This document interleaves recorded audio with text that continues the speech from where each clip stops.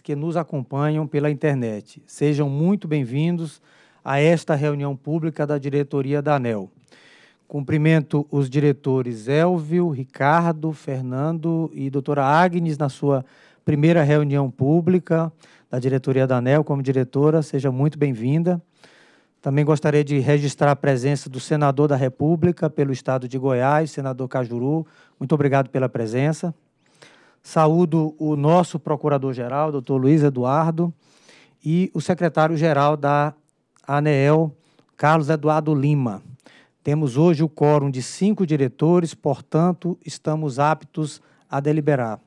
Declaro aberta a sessão da 46ª reunião pública ordinária da diretoria de 2022. E nesta abertura tenho a honra e a alegria, mais uma vez, de saudar a mais nova integrante do colegiado da ANEL, a doutora Agnes Costa. Ontem tivemos a oportunidade de darmos as boas-vindas à doutora Agnes, mas faço questão de reforçar a mensagem de, de que sua participação abrilhantará mais ainda os nossos debates e deliberações.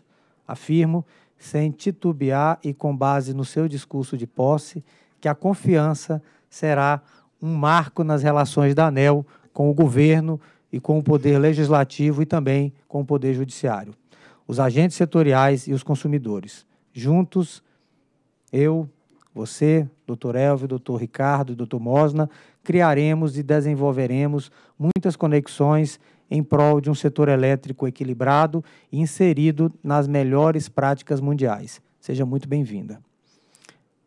Antes de iniciar o rito da reunião, concedo a palavra aos diretores eh, nesse momento sublime do início de um novo colegiado. Doutor Elvio, por favor. Bem, eu vou ser muito breve e dizer da minha alegria de contar aqui com a Agnes no nosso, nosso colegiado. E na pessoa da Agnes, eu quero cumprimentar todas as brasileiras. E eu quero apenas dizer uma frase: sim, elas existem.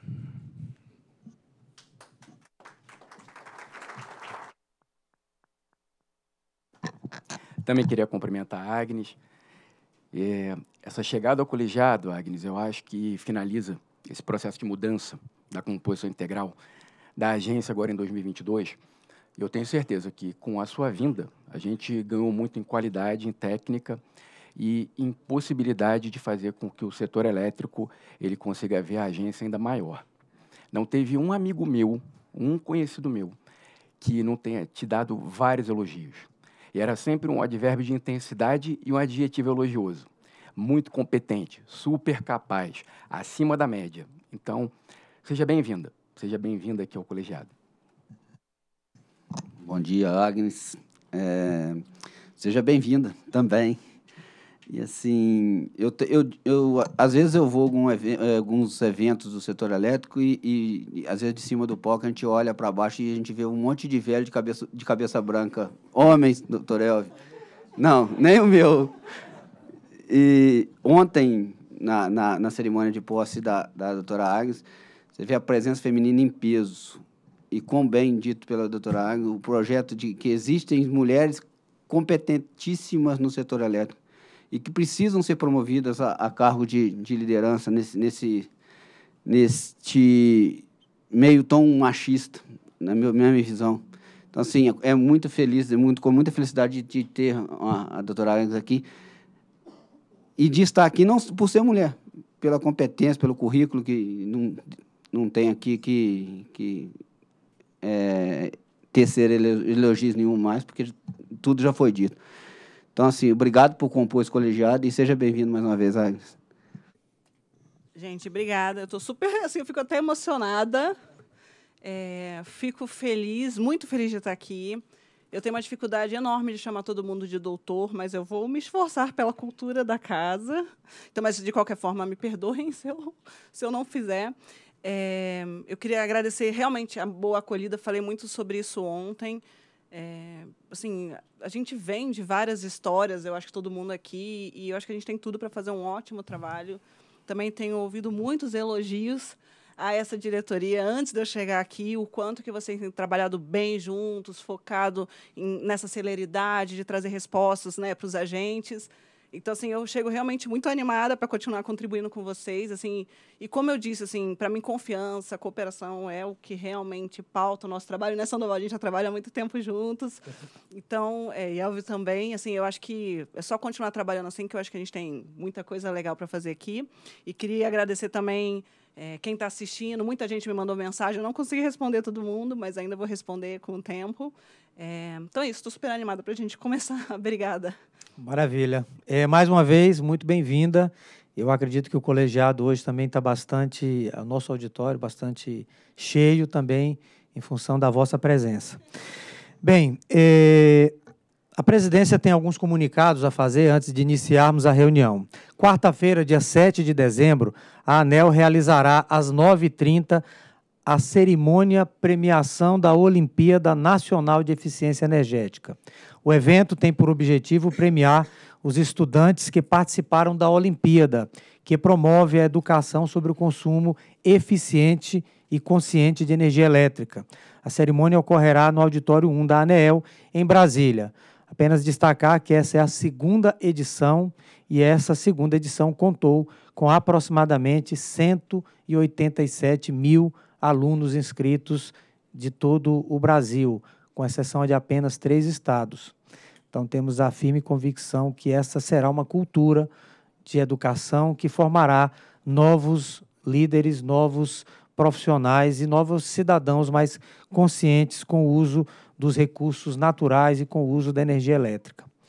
Quinta-feira, dia 8, a ANEEL realizará às 9 horas no auditório eh, da ANEEL em Brasília a audiência pública 15 de 2022, que busca obter subsídios para o aprimoramento das minutas de resoluções normativas com vistas à adequação dos regulamentos aplicáveis à micro e mini geração distribuída em função das disposições estabelecidas na Lei 14.300, de 6 de janeiro de 2022, e no artigo 1 da Lei 14.120, de 1 de março de 21.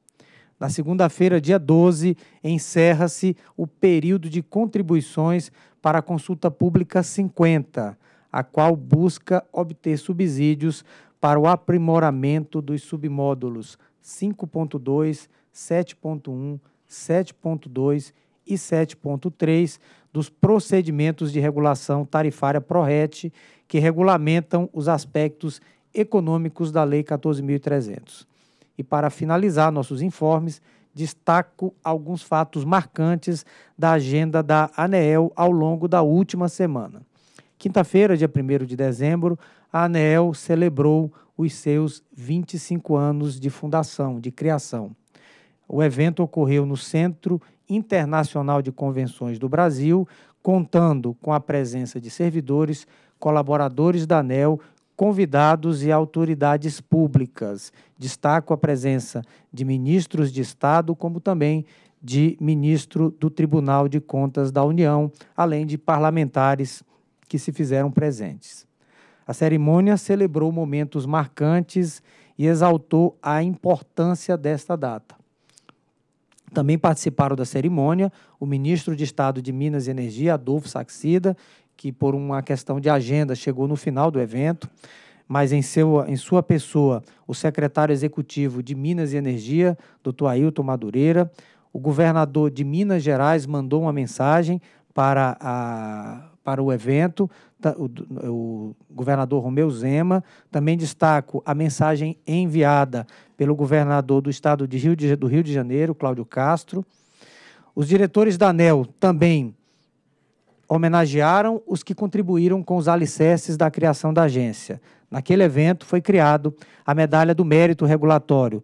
Destacaram a atuação do ex-ministro de Estado de Minas e Energia, Raimundo Brito, do primeiro diretor-geral da agência, José Mário Ábido, da servidora Gilma Passos e dos servidores Paulo Richard e Júlio Lozada. Também destaco que foi um dos homenageados, o deputado José Carlos Aleluia, que foi o deputado federal e relator na Câmara dos Deputados do projeto de lei da criação da ANEEL. Para exaltar a diversidade, diversidade do corpo técnico da agência, o evento foi inteiramente apresentado por servidores e colaboradores da ANEEL, que formaram duplas ao longo da solenidade. Também contamos com uma linda poesia declamada pela servidora Fernanda Argolo. A Associação dos Servidores da ANEL também abrilhantou a nossa cerimônia com o sorteio de, de, brindes e também com a participação efetiva na nossa, no nosso coquetel. Feitos os informes do dia, vamos deliberar a ata da 45ª reunião pública ordinária da diretoria da ANEL, realizada em 29 de novembro de 22. Se todos concordam com os termos da ata, permaneçam como estão. Declaro apenas, senhor secretário-geral, que a doutora Agnes por ser a sua primeira reunião, não deve constar na aprovação da presente ata. Declaro aprovada a ata da 45ª reunião pública ordinária da diretoria de 22 e solicito ao secretário-geral que enuncie os processos com pedidos de preferência e os de sustentação oral e a ordem de julgamento definido por esta presidência.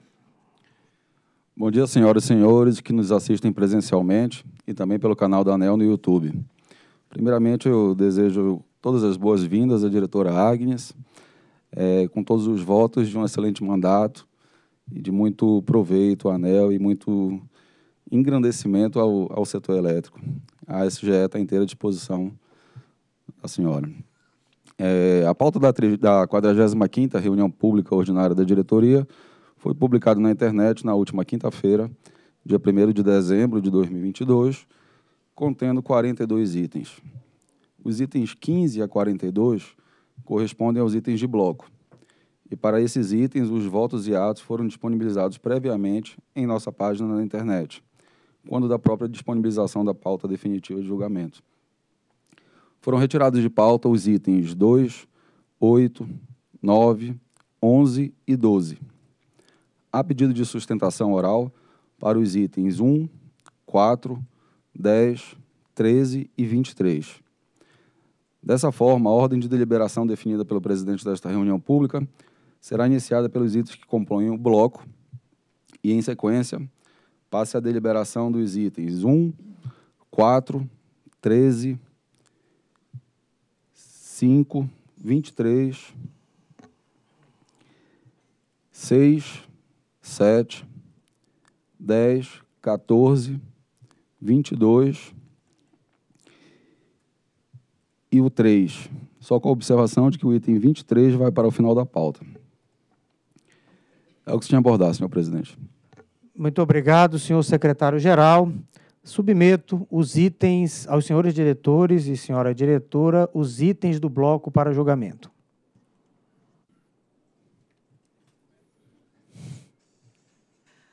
É, eu aprovo os itens do bloco. Eu aprovo os itens remanescentes do bloco. Eu também aprovo os itens remanescentes do bloco. Eu queria, diretor Sandoval, fazer um, uma correção no item 20 do, do bloco da reunião passada, em que é, houve um erro no dispositivo. É, esse item tratava da, da, do reconhecimento para fins de desembolso da CCE do aumento médio de 3,7% acima do IPCA para o carvão no, no complexo termoelétrico Jorge Lacerda.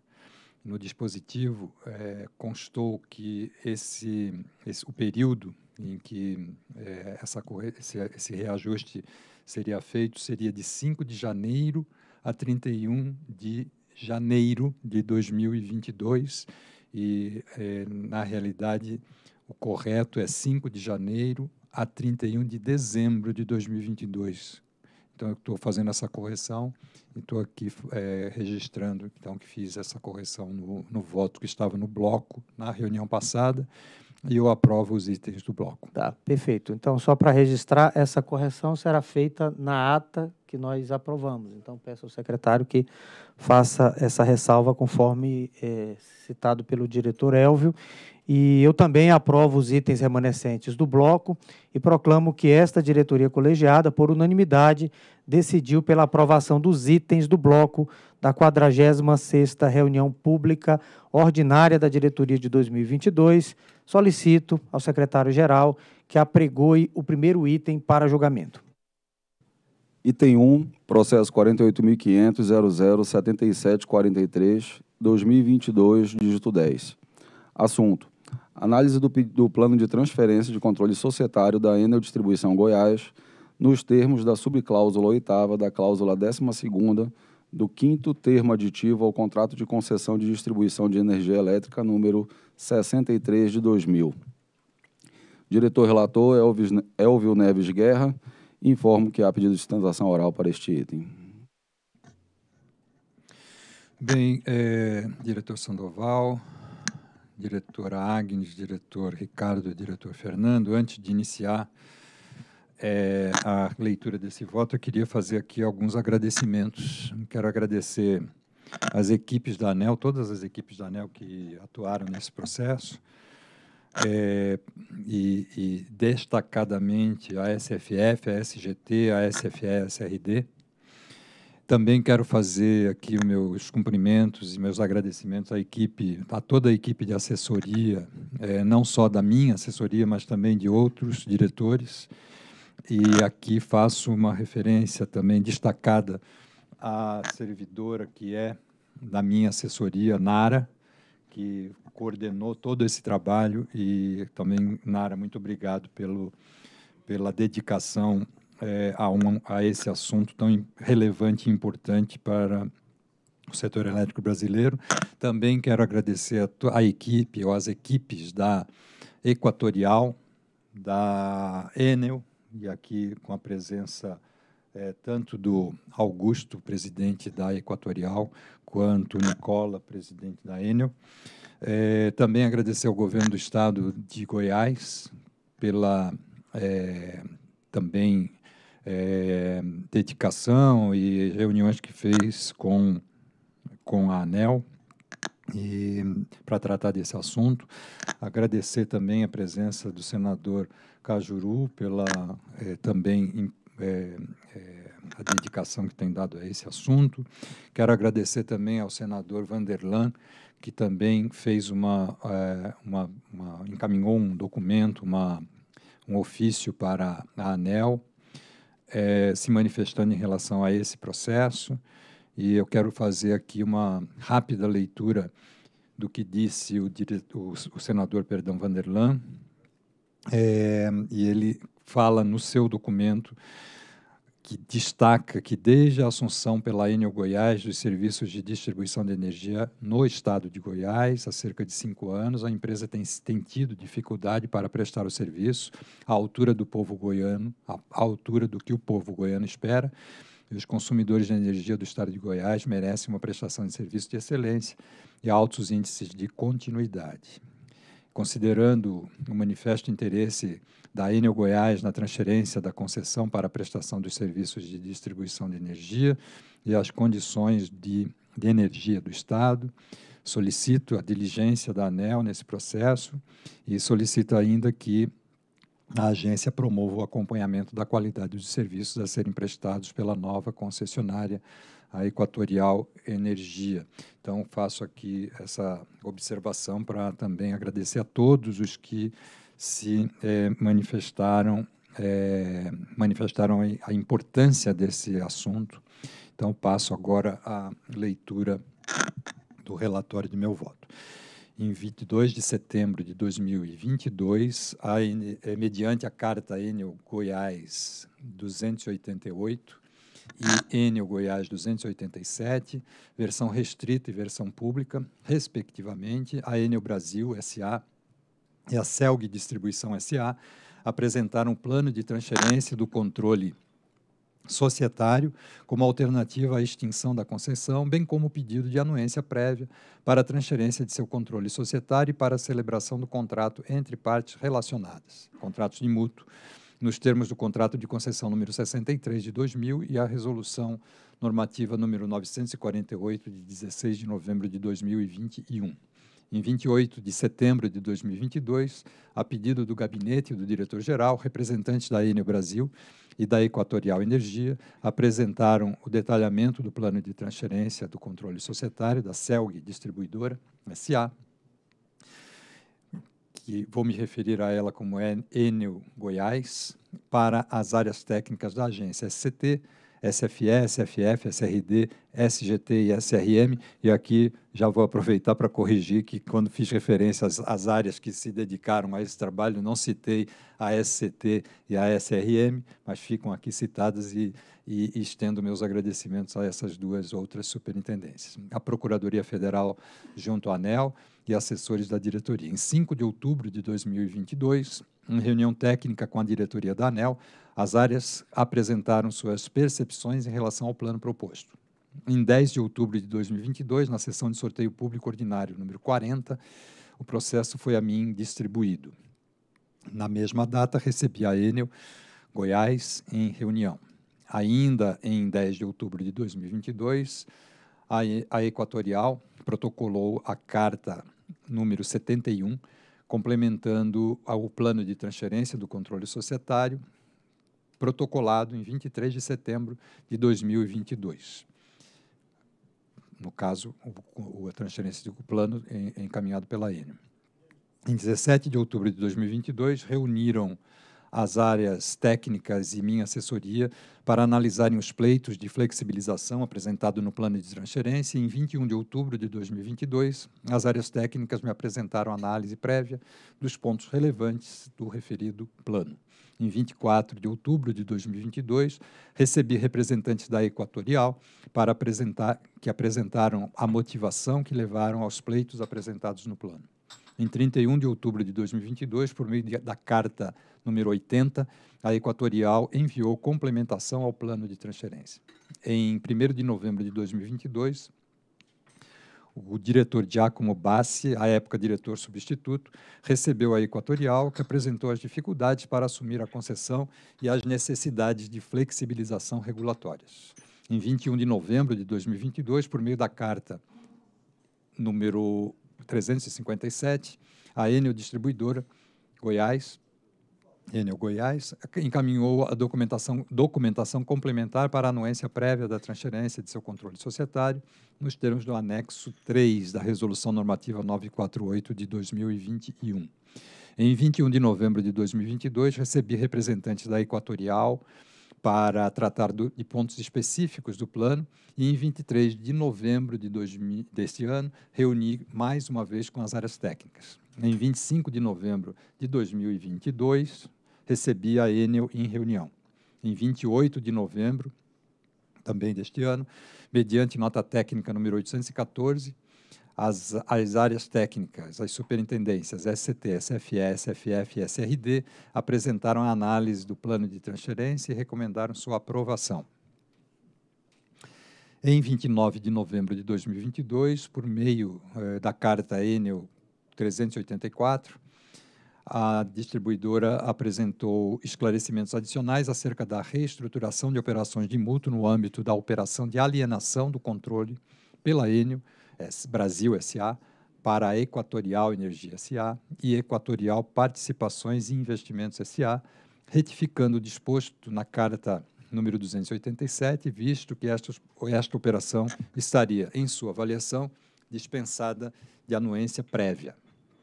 Em 1 de dezembro de 2022, pelo Memorando 343, a SFF complementou a instrução processual acerca da operação de aditamento dos mútuos, no sentido de concordar que, nos termos como apresentada, está dispensada de anuência prévia, conforme disposto no inciso 8 do artigo 19 do módulo 5 da Resolução 948 de 2021, sem prejuízo do controle a posteriori é o relatório. A sustentação oral será realizada pelo, pelo senador Jorge Cajuru e o senhor dispõe de 10 minutos para tanto.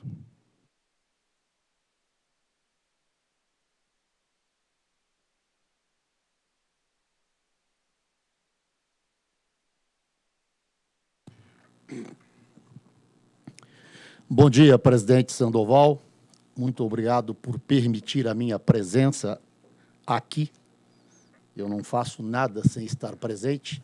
Respeito o colega senador Vanderlan, meu amigo, mas eu não sou, doutor Elvio, de mandar amenas palavras. Eu amo entrar em vespeiro. E eu lamento informá-los que nós estamos aqui diante de um contrato sinistro e mais do que isso.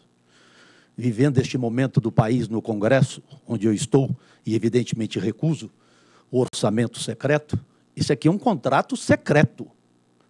Doutor Elvio é uma reserva moral. O senhor tem uma história. Eu espero que amanhã não seja questionada a sua história por estar aprovando um contrato como este. Eu vou aqui, objetivamente, apresentar os meus argumentos com provas irrefutáveis. Cada argumento meu eu tenho documento. E perguntas com ponto de interrogação que até hoje não tem resposta. E faço de forma respeitosa.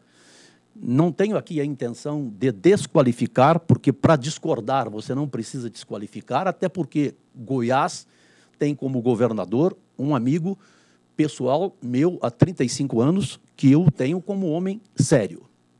Tive que entrar nesse vespeiro pela falta de transparência em tudo isso que eu acompanho desde, mil, desde 2016, quando começou essa farra desse contrato, e não era governo Caiado, era governo Marconi. Eu fui o único goiano, como jornalista e depois como parlamentar, a fazer esses questionamentos. Antes de mais nada, de uma forma mais feliz, é, em nome de todos os senhores aqui presentes, eu também registro com muita alegria a nova integrante da diretoria da ANEEL, a doutora Agnes. Eu tenho a mesma dificuldade sua. Eu não consigo falar doutora e nem Vossa Excelência. Vossa Excelência, para mim, são esses aqui, que estão aqui, essas aqui. Mas eu aprendi com o primeiro presidente americano, né? ele pediu para ninguém chamá-lo de Vossa Excelência e nem de doutor. Sir, senhor. Né? É mais fácil.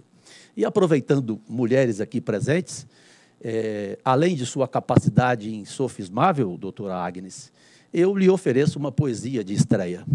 O meu coração diz o que eu preciso, basta o meu sorriso que eu serei feliz. Seja bem-vinda. Bem, passemos então a esses questionamentos que os deixo aqui em especial para quase 7 milhões de goianos que devo satisfação a cada um. Onde está a primeira pergunta, doutor Elvio, respeitosamente, o acesso público do contrato realizado entre a Enel e a Celgd em 2016? Não está em lugar nenhum, senhoras e senhores. Ninguém sabe, ninguém viu. Foram divulgados os relatórios de cumprimento dos projetos e investimentos pactuados pela Enel? Não, nunca. As multas aplicadas pela AGR e a ANEEL foram adimplidas pela Enel? Não, senhoras e senhores, nunca. Onde está o memorial de cálculo do passivo do contrato da Enel? Ninguém viu. Nunca viu. É uma falta de transparência absolutamente abismal. A CPI da Assembleia Legislativa de Goiás, em 2019, identificou lacunas na re regulamentação da ANEEL e no contrato de concessão quanto aos direitos de consumidor na aferição de energia elétrica e dos aumentos abusivos. Pergunto: essas lacunas vão persistir na atual aprovação deste contrato? Pergunto. Para concluir, a Equatorial Energia está se comprometendo a pagar um passivo de 5,7 bilhões em 12 meses. Aqui não falamos de 12 anos. E aqui falamos de quase 6 bilhões. Pergunto: onde está o plano de ações e investimentos a serem feitos pela Equatorial? Ponto de interrogação. Qual a garantia a empresa dará ao Estado de Goiás e ao consumidor goiano? Penúltima pergunta. A Enel comprou a CLGD por 2,1 bilhões. A Equatorial comprou a Enel por 1,57 bilhões. Aí vem a pergunta, senhoras e senhores, doutor Elvio, respeitosamente.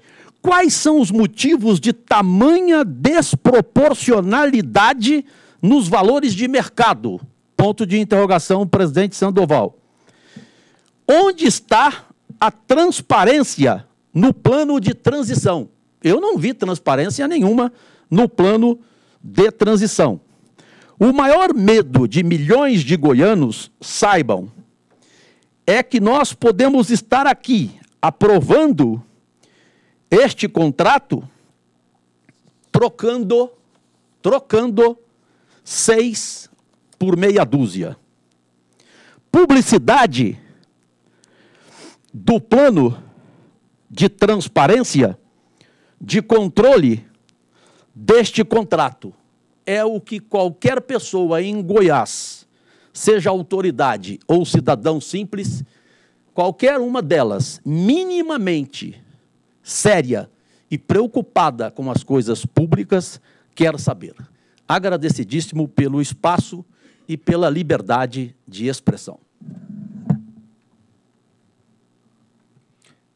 Próxima sustentação oral será realizada pelo senhor Augusto Miranda da Paz Júnior, representante da Equatorial Energia. O senhor dispõe de 10 minutos.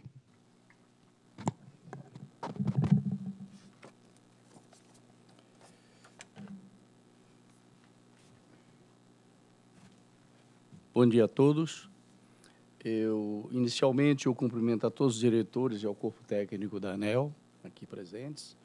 É, e também agradeço aí o, a, a, presença de todos os colegas do setor elétrico. Hoje é um dia muito marcante, um dia muito importante para a gente. É, eu queria cumprimentar todos os diretores, em especial a diretora Agnes. Aí, Agnes, muito bem-vinda. É, justamente eu fico muito alegre pela sua presença, presença feminina nesse atual colegiado da ANEL e também pela sua, rogo muito pela sua competência e com certeza vai abrilhantar muito o trabalho, junto com esse corpo técnico muito competente. Eu gostaria de destacar, pessoal, aqui alguma coisa que é equatorial. A equatorial, ela, com a atuação nos setores elétricos e saneamento, recentemente nós entramos também no setor de saneamento básico, ele possui mais de 20 anos de experiência. Então, portanto, a gente tem uma longa experiência no setor. É, no segmento de distribuição de energia elétrica, sendo um grupo reconhecido pela eficiência, competência de gestão, com foco na melhoria da qualidade do serviço prestado e temos expertise em turnarounds. Né? Hoje nós temos em torno já seis distribuidoras de energia em todo, em todo o território, atuamos já em regiões com muitos desafios, como, por exemplo, o Pará, né? com alguns desafios territoriais, tá certo? É, e com foco na melhoria da qualidade do serviço, com expertise em turnarounds, com os já implantados nas distribuidoras do Maranhão, do Pará, né, que são territórios muito grandes, como eu falei, Piauí, Alagoas, né, Rio Grande do Sul. Então, se vocês olharem, né, há uma diversidade muito grande e realmente nós temos atuado, né, justamente contribuindo para o desenvolvimento desses estados. É, a concessão da Enel Goiás, ela apresenta extraordinário, extraordinários desafios. É, realmente é um estado grande, é um estado punjante, é um estado onde o mercado cresce nos últimos 10 anos acima da média Brasil. Né? Então, portanto, a energia é um insumo muito importante para acompanhar, para suportar esse crescimento. É, no seu sistema elétrico, com uma quantidade significativa de ativos 100% depreciados. Né?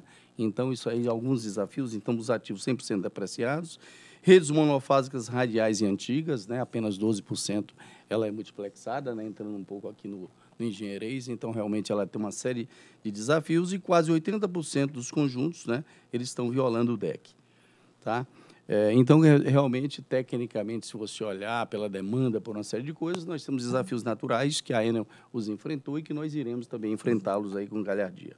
Adicionalmente ao desafio da melhoria da qualidade e atendimento de novas cargas, há um elevado nível de sobrecarga em linhas de transmissão, o que demandará uma, uma rigorosa gestão e um programa significativo de investimentos.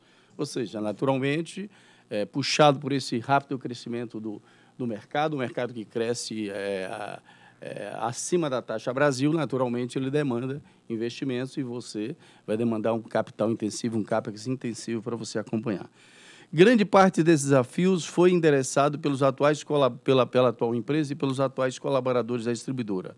Um trabalho importante e fundamental foi realizado, mas ainda temos uma demanda, uma demanda, um, demanda um esforço extra para ser concluído. Ou seja, é um processo que todo dia você tem novos entrantes, novas cargas. Né? O próprio agronegócio, que é muito forte, ele naturalmente ele demanda esse esforço contínuo. O desafio é grandioso e a Equatorial Energia está preparada para assumir o compromisso da melhoria da prestação do serviço para a sociedade, para a sociedade tendo como foco a implementação de um robusto programa de investimentos, né, até para suportar esse crescimento rápido, na melhoria da qualidade de serviços prestados aos consumidores, que naturalmente serão os usuários desse trabalho, né, no atendimento à demanda reprimida, que ela é grande, haja visto os, os os pesados investimentos, mas não foram ainda suficientes para você aplacar e atender plenamente a todo esse crescimento.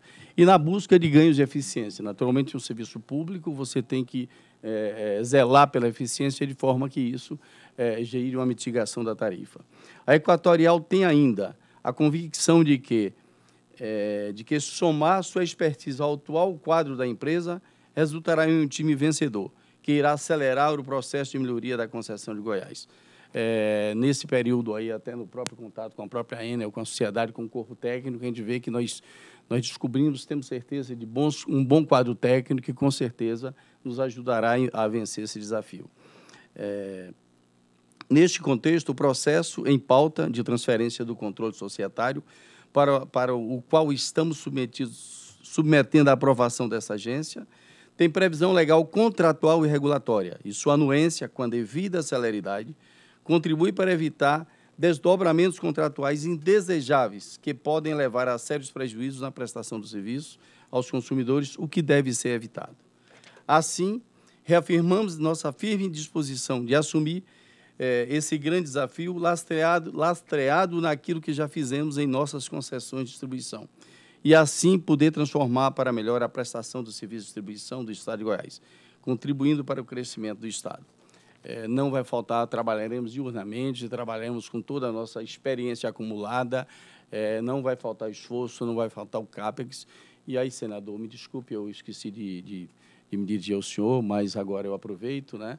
Então, realmente, nós estamos chegando com vontade, nós vamos justamente pegar toda essa experiência e vamos trabalhar diuturnamente para que a gente possa corresponder aos anseios da sociedade. Então, mais uma vez, muito obrigado a todos.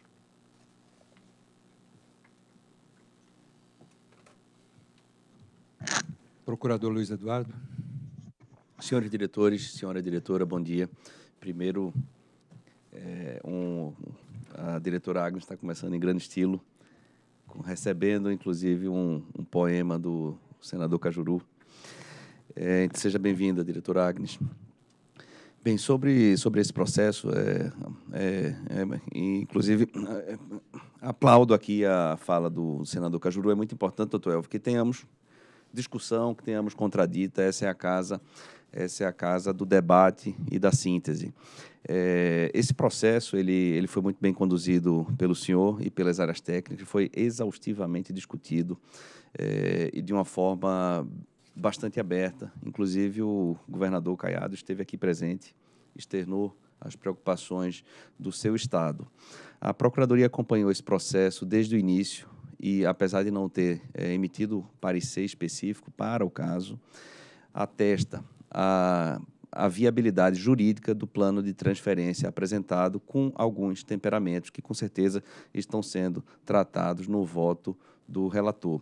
Então, com essas considerações, a Procuradoria se manifesta favoravelmente à aprovação do plano de transferência.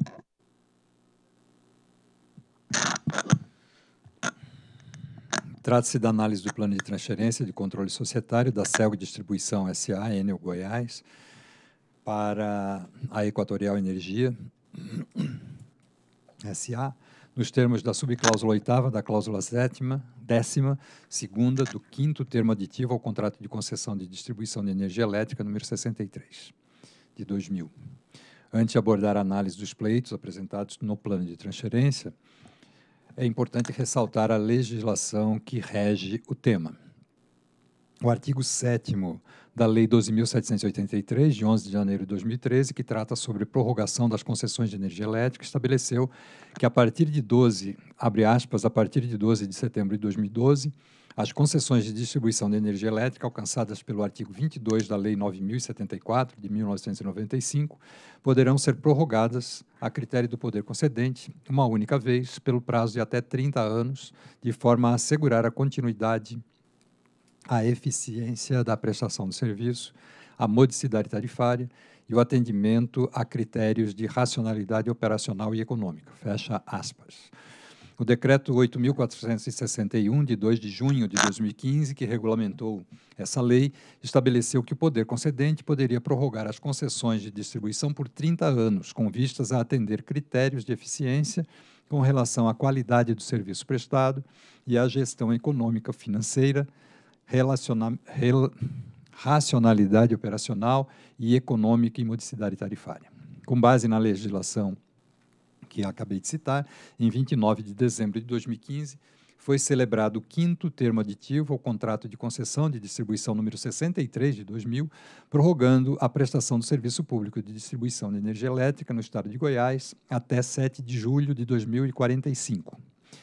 A concessão até então estava sob controle estatal, governo do estado de Goiás e Eletrobras. O referido quinto termo aditivo trouxe métricas de melhoria contínua a serem avaliadas ao longo dos cinco primeiros anos do contrato, entre 2016 e 2020, e na hipótese de descumprimento de qualquer uma delas por dois anos consecutivos, ao longo de cinco anos, o descumprimento no quinto ano acarreta a abertura de processo visando a extensão, a extinção, perdão, da concessão. E aqui eu cito é, as duas, a cláusula 18 que trata das condições de prorrogação, e a subcláusula primeira, que eu vou dispensar a leitura. Conforme a subcláusula oitava da cláusula décima segunda do quinto termo aditivo, a concessionária pode apresentar plano de transferência do controle societário anteriormente instaurado a instaura é, anteriormente à instauração pela ANEL de processo administrativo em face do descumprimento das condições de prorrogação, de que trata a cláusula 18 oitava. Então, aqui também trago eh, os termos do, do da, da subcláusula oitava, da cláusula décima segunda, que trata da extinção da concessão e reversão dos bens e instalações vinculadas, que também vou dispensar na leitura. O anexo 2 e 3 do quinto termo aditivo estabeleceram os parâmetros de eficiência na prestação do serviço de distribuição e na gestão econômica e financeira da concessão, respectivamente, que devem ser alcançados pela concessionária.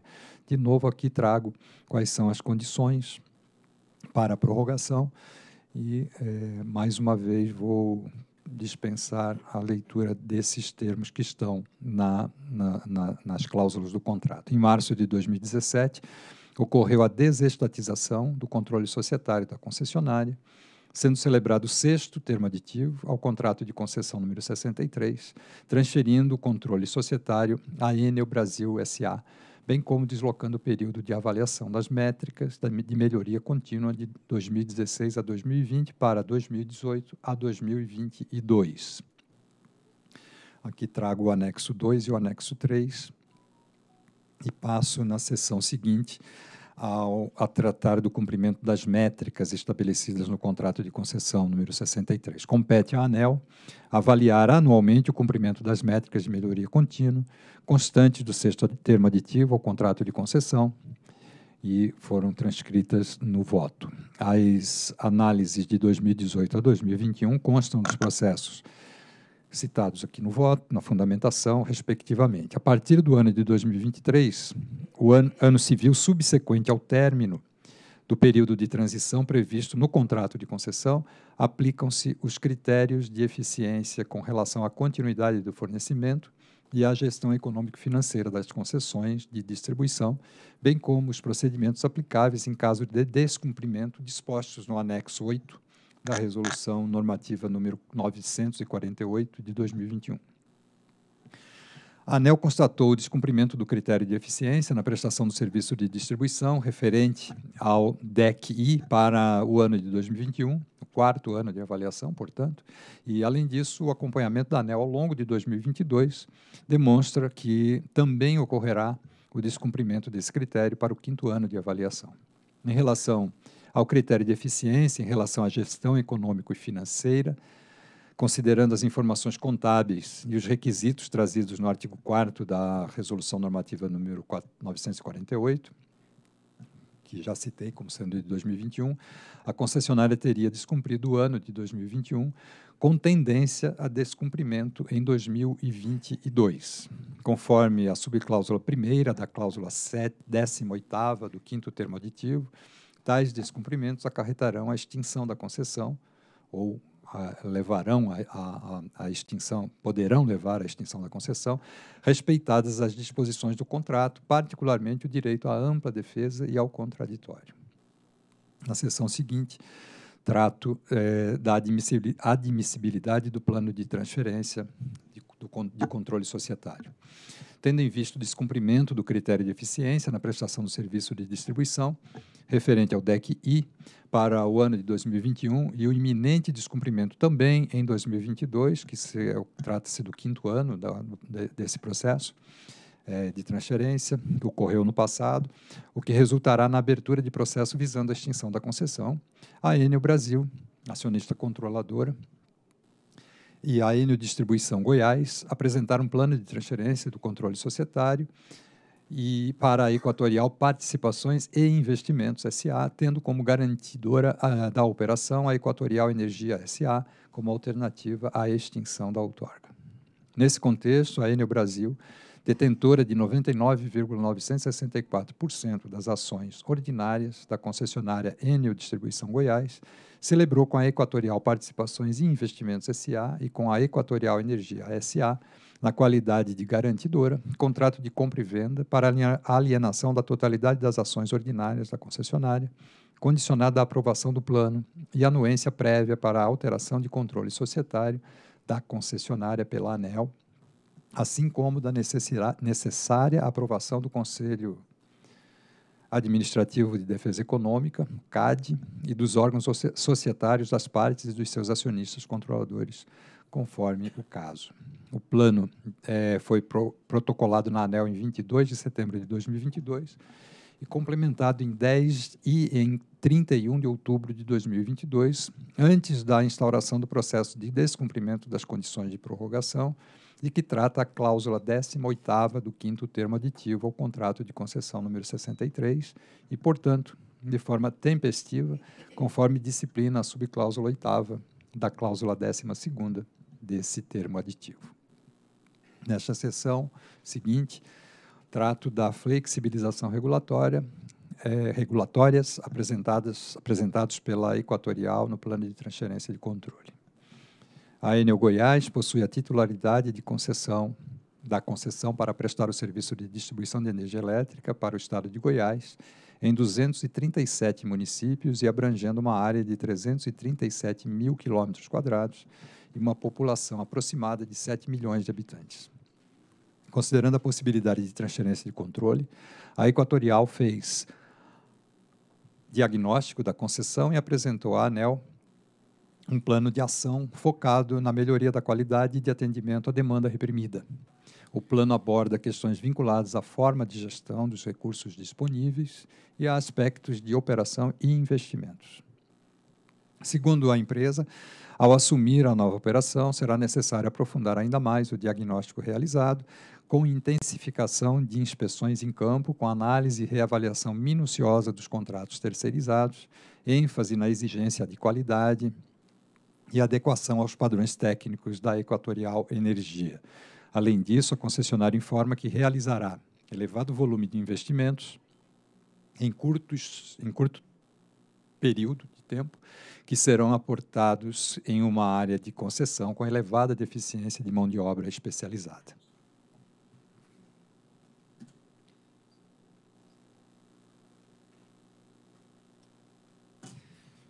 Afirma ainda a Equatorial que a melhoria da qualidade do serviço será experimentada nos primeiros anos, tendo-se o cuidado de para evitar ao máximo que as ações e investimentos não provoquem aumento nos indicadores de continuidade por força de interrupções programadas e que, a partir do terceiro ano, considerando o profundo diagnóstico a ser realizado, a maturação dos investimentos iniciais realizados e a aceleração da curva de aprendizado nas necessidade, das necessidades da concessão, promoverão uma aceleração na melhoria da qualidade.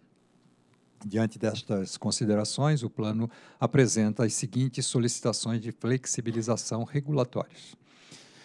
Primeiro, a interrupção do artigo 9 da, do anexo 8 da, da Resolução 948 de 2021 pelo período de três anos. E aqui, nesse diagrama, está mostrado exatamente isso que foi solicitado.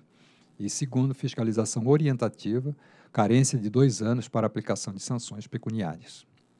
Resumidamente, tais flexibilizações se baseiam nas seguintes justificativas segundo a Equatorial necessidade de assumir a concessão para aprofundar o diagnóstico, período de transição e de arrumar a casa, nos termos utilizados por ela, prazo para os investimentos realizados apresentarem resultados, alto nível de dispersão do descumprimento dos limites dos, pelos conjuntos elétricos, reavaliação das provisões impactará o EBITDA em 2023, elevada compensação financeira somada aos programas de investimento intensivo, permitir que haja foco na melhoria da qualidade, afastando o risco de caducidade no curto prazo, destinação de todo esforço em termos prioritários, em temas prioritários, com as, os indicadores de continuidade e manutenção das fiscalizações, mas em caráter orientativo.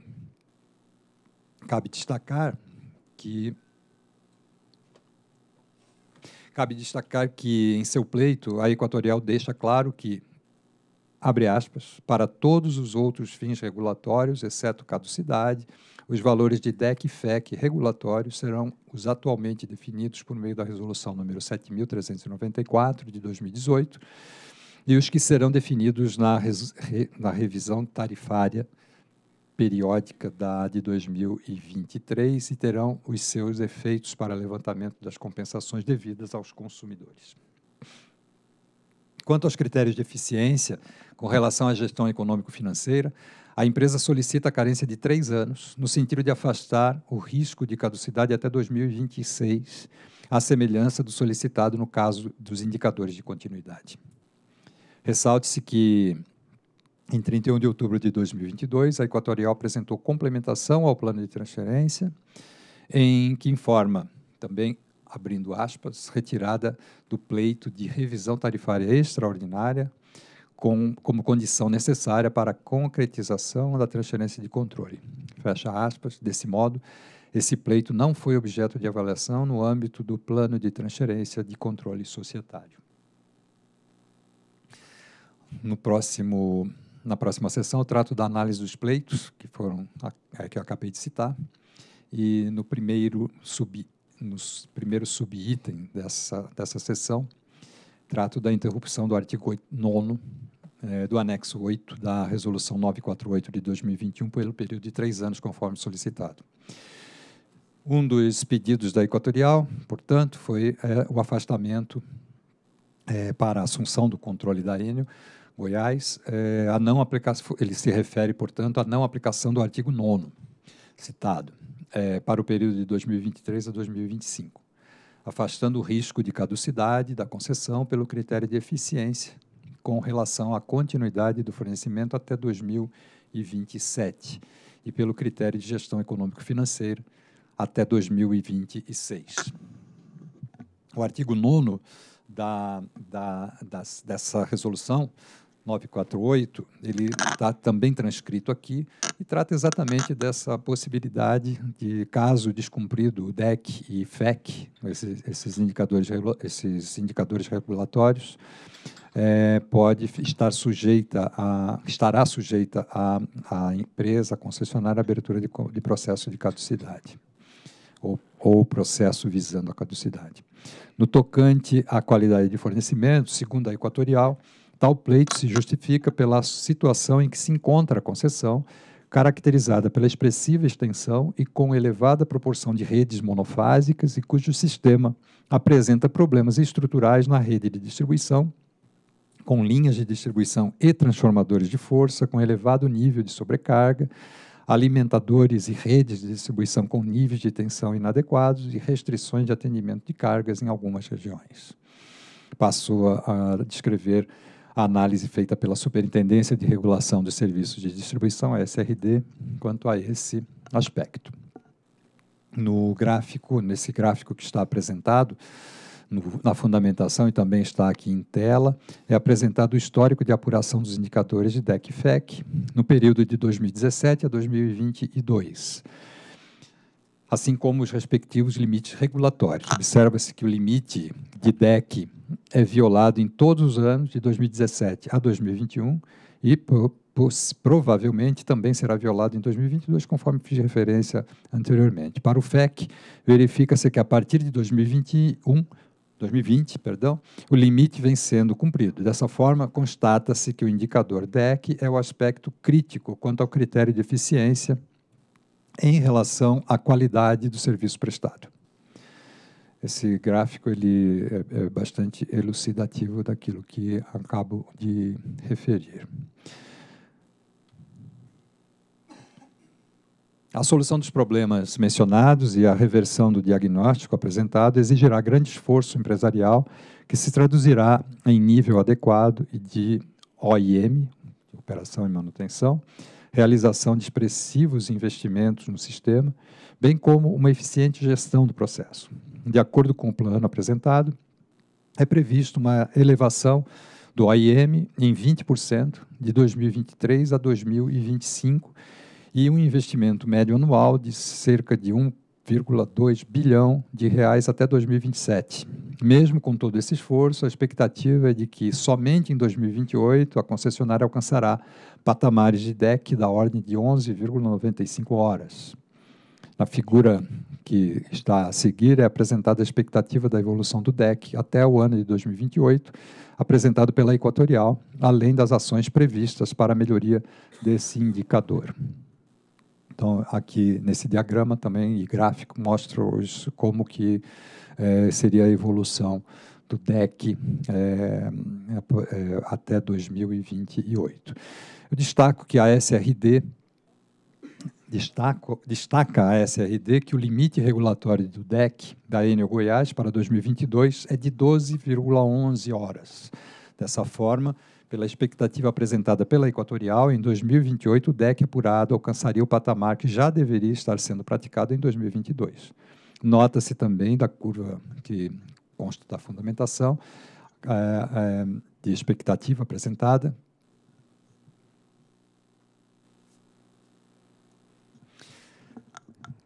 que a previsão para o DEC nos três primeiros anos, de 2023 a 2025, passaria de 18,41 para 16,96 horas, ou seja, redução de cerca de 9%. Apesar de afirmar que haverá incremento no OPEX no, prazo, no curto prazo, os resultados esperados pela Equatorial parecem estar principalmente baseados nas ações de CAPEX, vez que a melhoria efetiva do DEC só ocorrerá depois de 2026, segundo apresentado no plano, após a maturação dos investimentos realizados. Dada a situação da concessão, com o DEC apurado bastante superior ao limite estabelecido, seria de extrema importância uma redução mais agressiva do indicador, com uma convergência mais acelerada para os limites regulatórios. Além disso, concentrar parte importante da melhoria ao final do período, tal como proposto no plano, gera um ponto de atenção e um risco adicional para o processo de acompanhamento, pois pode dificultar a identificação por parte da agência de, da real mudança de desempenho obtido com a gestão do novo controlador. Em resumo, caso a proposta tivesse uma evolução que privilegiasse reduções de indicador mais homogêneos durante todo o período, tal risco seria minimizado e mais facilmente identificável pela agência. Desta forma, tal risco deve ser mitigado pelo acompanhamento contínuo da nova gestão pela agência. Assim, a Superintendência de Fiscalização de Serviços de Eletricidade, a SFE, deve cobrar da Equatorial plano para a redução do DEC nos, no DEC dos conjuntos, de forma que a distribuidora melhore e a homogeneidade na prestação de serviço.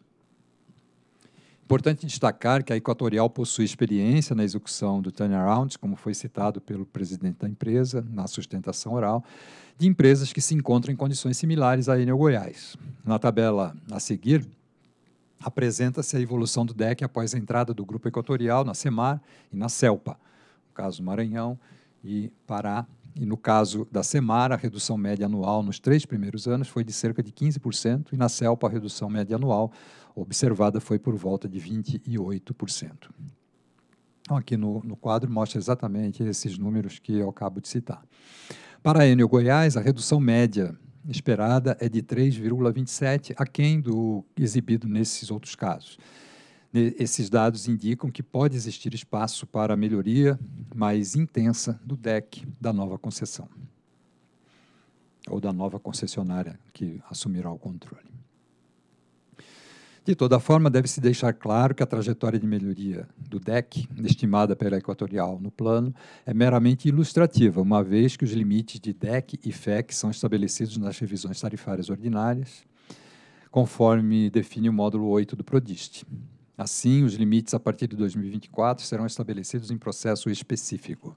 Desta forma, ao pleitear o afastamento do artigo 9 do anexo 8 do, da Resolução 948, com relação à continuidade do fornecimento no período de 2023 a 2025, o compromisso assumido com a transferência de controle é o cumprimento dos limites regulatórios de TEC e FEC a partir de 2026, momento em que a regulação da, a regulação da caducidade entrará em vigor e sujeitará o controlador a todas as sanções previstas na Resolução 948 de 2021, no caso de descumprimento.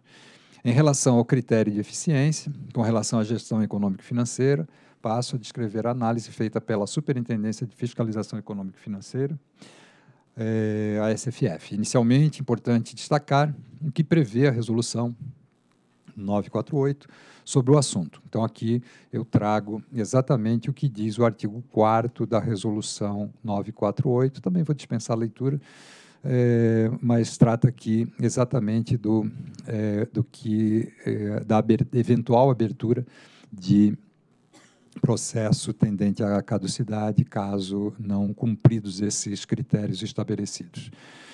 Como comentado antes, em relação ao critério de eficiência, em relação à gestão econômica e financeira, considerando suas informações contábeis e os requisitos trazidos nesse artigo que acabei de citar, a concessionária teria descumprido o ano de 2021.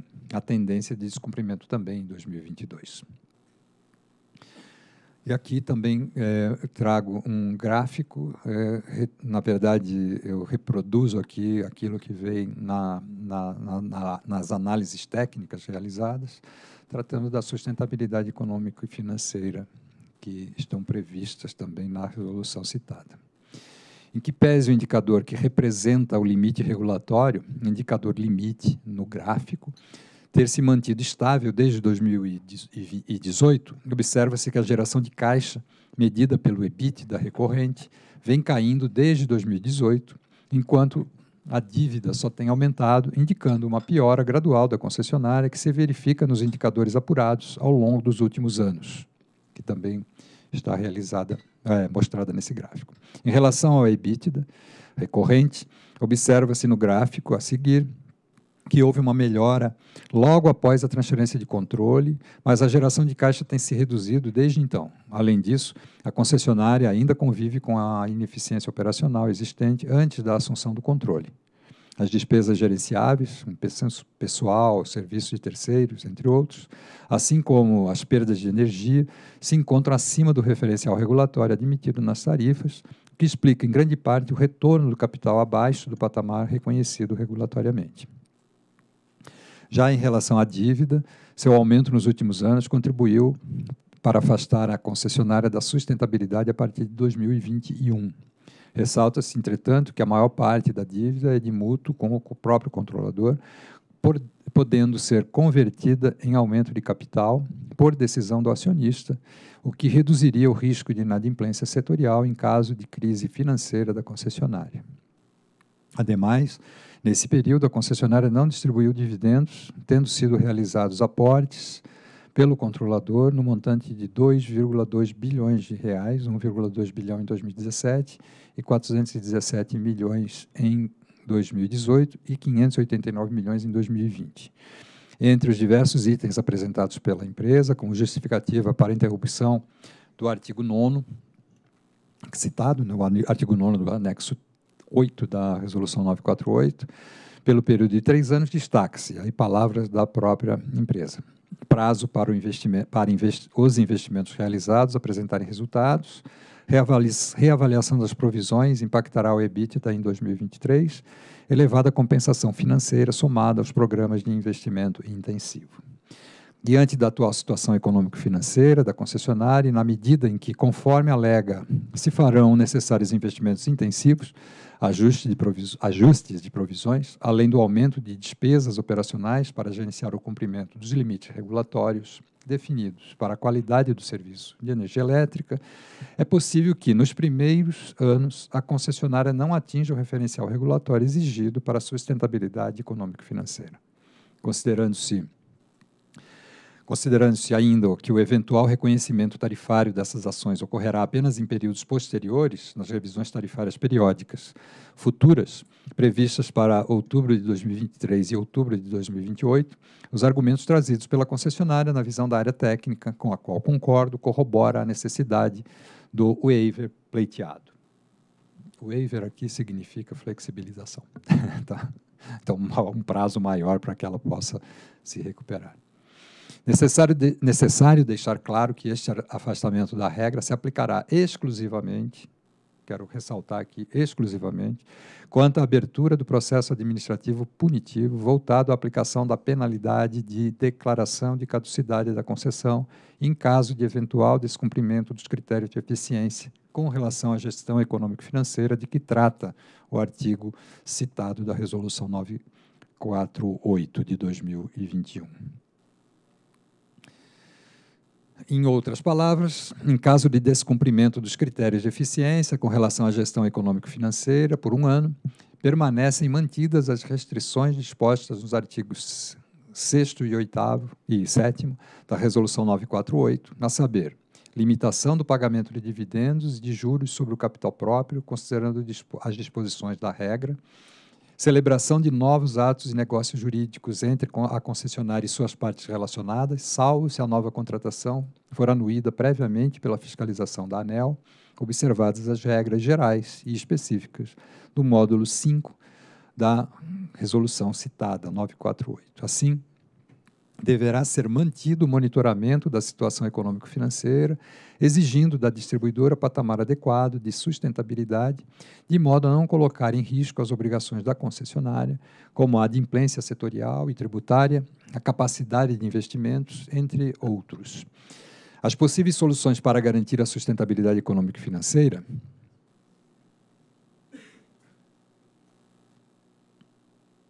As possíveis soluções para garantir a, a sustentabilidade econômica e financeira da concessionária passam pela readequação financeira baseada em aumento de EBITDA e ou redução do volume de endividamento da distribuidora, esse último fortemente influenciado pelos empréstimos de mútuos com o atual grupo controlador, motivo pelo qual as medidas tomadas pela concessionária, bem como os seus resultados, deverão continuar sendo acompanhadas pela fiscalização da ANEL.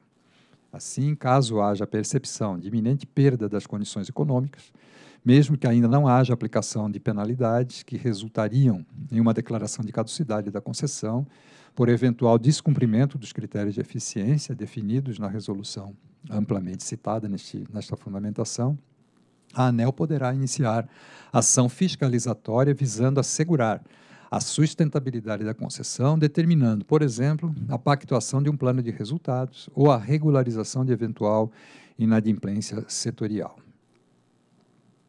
Nesta subseção, trato da fiscalização orientativa, que a carência de dois anos para aplicação de sanções pecuniárias.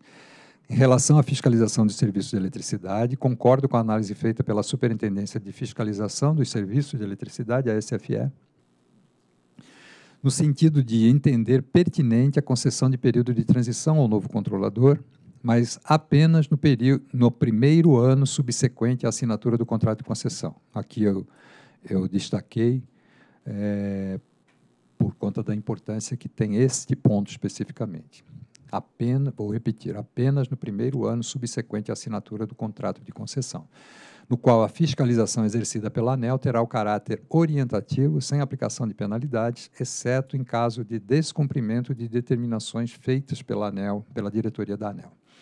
Assim, no primeiro ano, a, o agente ficará submetido à metodologia de fiscalização responsiva, porém sem consequências de caráter sancionador. A partir do segundo ano, um novo concessionário pode incorrer em processo administrativo sancionador nos termos da resolução normativa 846 de 11 de junho de 2019. Em relação à fiscalização econômico-financeira, o caráter orientativo, sem aplicação de penalidades, não impede o monitoramento da sustentabilidade da concessionária, conforme esclarecido anteriormente neste voto. Dessa forma, permanecerão sendo observados aspectos relativos à adimplência setorial e seus desdobramentos. Além disso, será mantido o monitoramento da situação econômico-financeira resguardada a atribuição da ANEL de iniciar ação fiscalizatória em caso de iminente perda de condições econômicas. Se necessário, a diretoria da ANEL poderá determinar o cumprimento de medidas e ou ações ao longo desse período, de modo a garantir a sustentabilidade, como, por exemplo, pactuação de plano de resultados ou a regularização de eventual inadimplência setorial.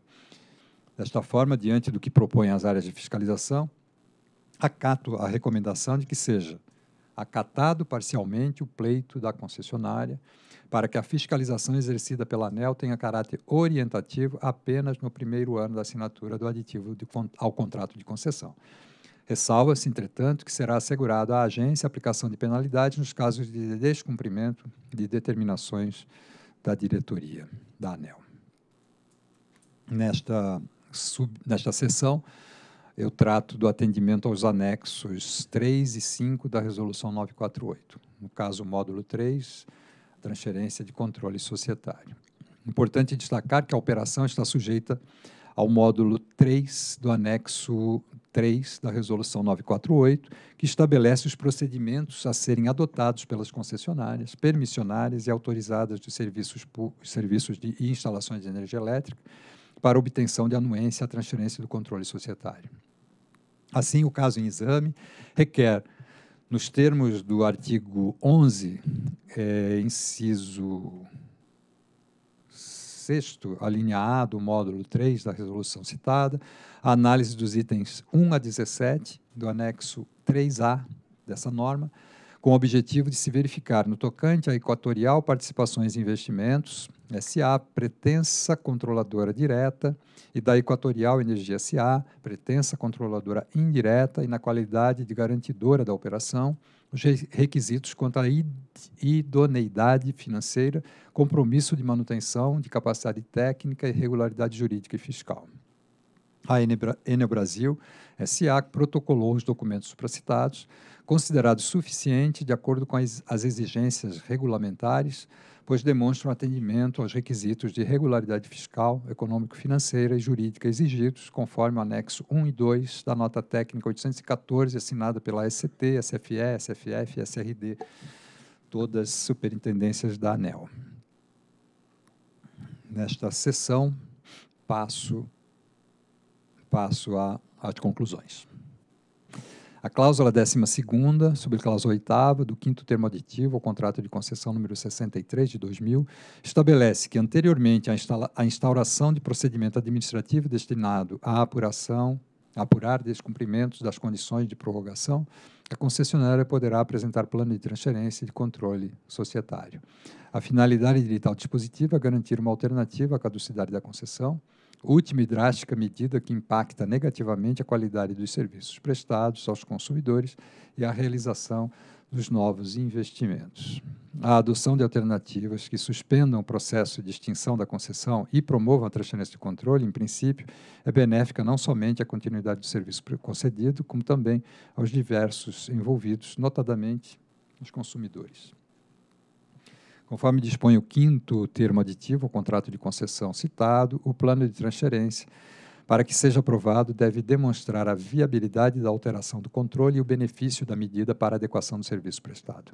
A operação aqui analisada está inserida no contexto da recuperação da concessão, especialmente dos seus índices de qualidade e de sustentabilidade econômica e financeira. Assim, a assunção do controle da concessionária pela Equatorial é um passo para a adequação do serviço de, distribuição de energia elétrica prestado aos consumidores do estado de Goiás. A Equatorial tem atuação no setor elétrico, no segmento de distribuição de energia elétrica, principalmente na aquisição e reestruturação de diversas distribuidoras de energia elétrica. Diante do, de todo exposto, acato a recomendação das áreas técnicas de afastar, pelo período de três anos, o artigo 9 do anexo 8 da Resolução 948, para os critérios de eficiência com relação à continuidade do serviço, do fornecimento, e o critério de eficiência com relação à gestão econômico-financeira, em virtude do tempo de maturação dos investimentos, impacto na reavali da reavaliação de provisões e das compensações financeiras combinados ao saldo significativo da dívida, cerca de 6,4 bilhões de reais em junho de 2022. Não obstante, a recomendação de acatar o pedido, importa esclarecer que a suspensão se restringirá exclusivamente à eventual penalidade de declaração de caducidade da concessão em caso de descumprimento dos critérios de continuidade do fornecimento e econômico-financeiro. Importante frisar, ficar claro que para todos os outros fins regulatórios, exceto caducidade, os valores de DEC, FEC e regulatórios serão os atualmente definidos por meio da resolução autorizativa 7.394 de 2018 e os que serão definidos na, na revisão tarifária de 2023 e terão os seus efeitos para levantamento das compensações devidas aos consumidores. Assim, em caso de descumprimento desses critérios por dois anos, ou por um ano, respectivamente, permanecem mantidas as restrições dispostas nos artigos 5, 6 e 7 da Resolução 948. Em primeiro, apresentação pela concessionária de um plano de resultados, no caso da continuidade, limitação do pagamento de dividendos e de juros sobre capital próprio, considerando as disposições da regra, vedação da celebração de novos atos e negócios jurídicos entre a concessionária e suas partes relacionadas, salvo se a nova contratação for anuída previamente pela fiscalização da ANEL, observadas as regras gerais e específicas do módulo 5 da referida resolução normativa, no caso das condições econômico-financeiras. no mesmo sentido, será mantido o monitoramento da situação econômico-financeira da concessionária. Caso haja a percepção de iminente perda de condições econômicas, a ANEL poderá iniciar ação fiscalizatória visando assegurar a sustentabilidade da concessão, determinando, por exemplo, a pactuação de um plano de resultados ou a regularização de eventual inadimplência setorial. Ações de monitoramento e fiscalizatórias também poderão ser realizadas para assegurar a sustentabilidade da prestação do serviço aos consumidores no que se refere à continuidade de fornecimento. Assim, a Superintendência de Fiscalização de Serviços de Eletricidade, a SFE, deve cobrar da Equatorial plano para a redução do DEC dos conjuntos, de forma que a distribuidora melhore a homogeneidade na prestação do serviço. Quanto à fiscalização, acata-se o caráter orientativo no primeiro ano da assinatura do termo aditivo ao contrato de concessão, ressalvada, entretanto, a aplicação de penalidade nos casos de descumprimento de determinações feitas pela diretoria da agência. De todo exposto, a anuência prévia à transferência pleiteada deve ser concedida nos termos das, das condições e motivações estabelecidas neste voto. Antes de passar ao dispositivo, queria fazer aqui apenas é, breves é, observações e considerações é, em relação às sustentações orais.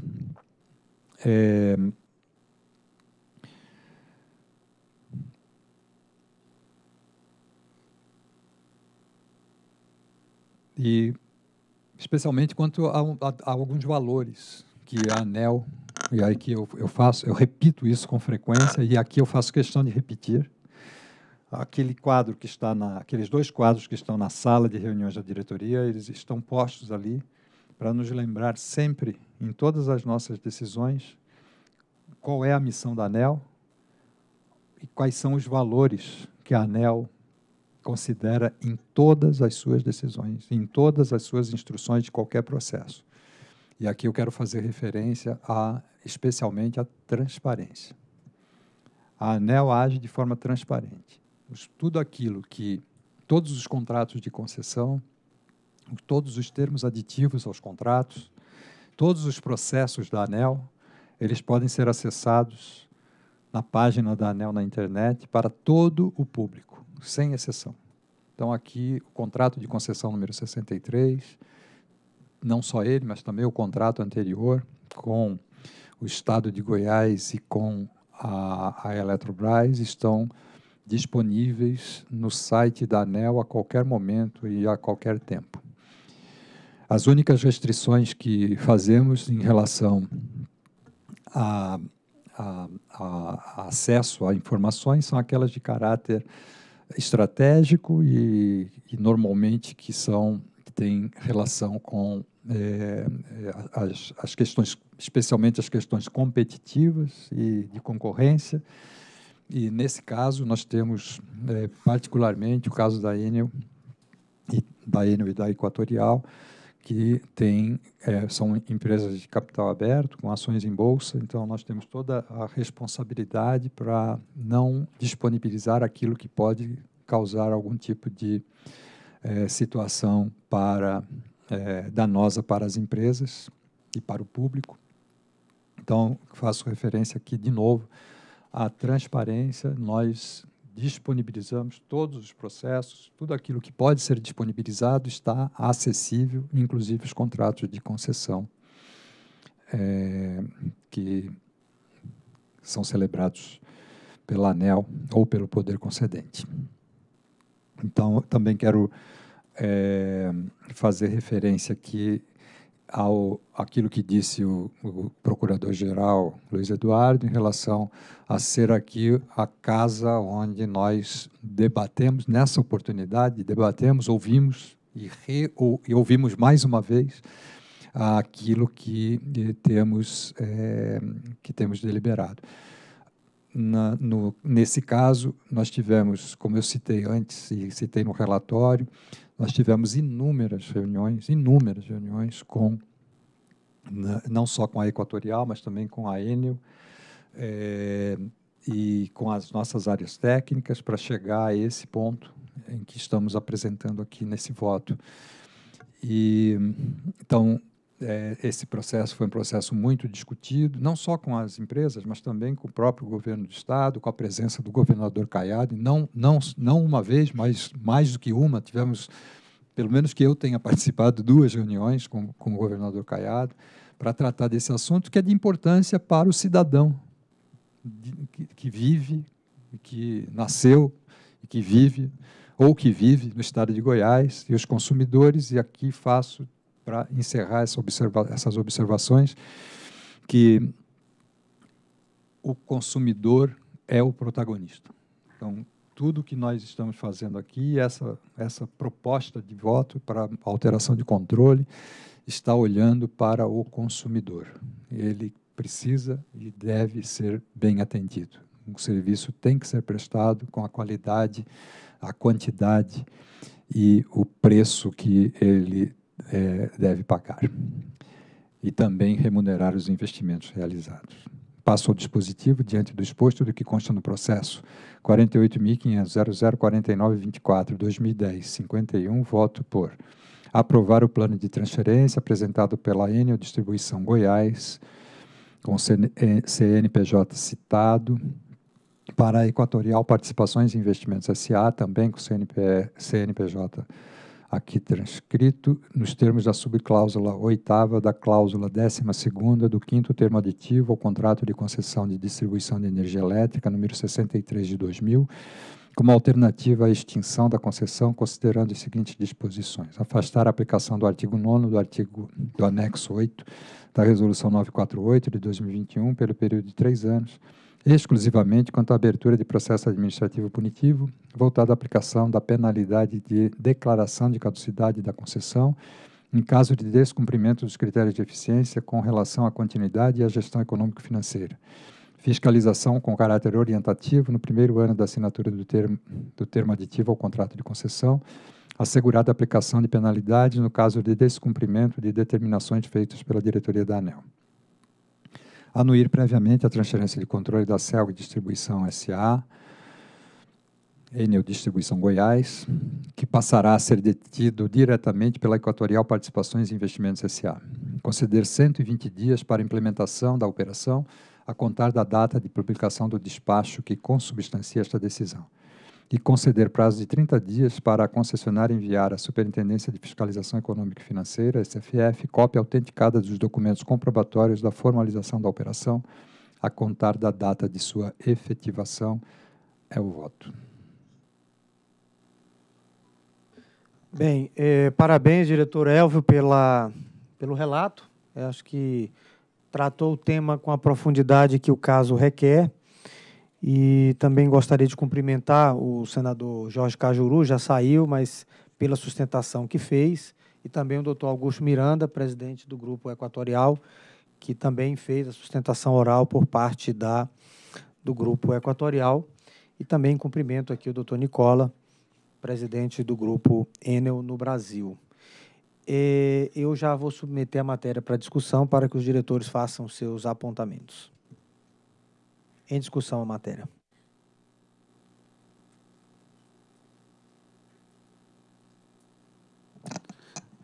É, é um assunto, doutor, é muito bem conduzido, como disse o doutor Sandoval, é, que entendo eu que hoje a gente não, deve, não gostaria de estar discutindo aqui no momento, porque é uma transferência de uma concessão que, infelizmente, não cumpriu o seu papel, o seu contrato de concessão.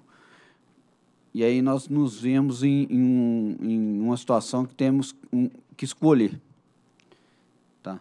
Ou anuir com esse, com esse com o, o waiver, como você bem disse, pela, pela solicitado pela, pela transferência, ou então avançar com o processo de caducidade e participar de uma nova licitação. E aí, de qualquer maneira, também teríamos um processo longo, duradouro, desgastante e que o consumidor, no final do, do, do, do dia, ia é, perder a, a, ia pagar o preço muito maior do que uma transferência dessa com, com, essa, com essa flexibilização que não foi efetivamente muito grande. Você está num ano para não cumprimento de meta, eu acho importante. Então, assim, eu acho que é um processo desgastante, mas é, é um necessário acho que é necessário e a gente tem que acompanhar de perto aqui agora o plano de, de ação da, da, da nova concessionária do Estado de Goiás.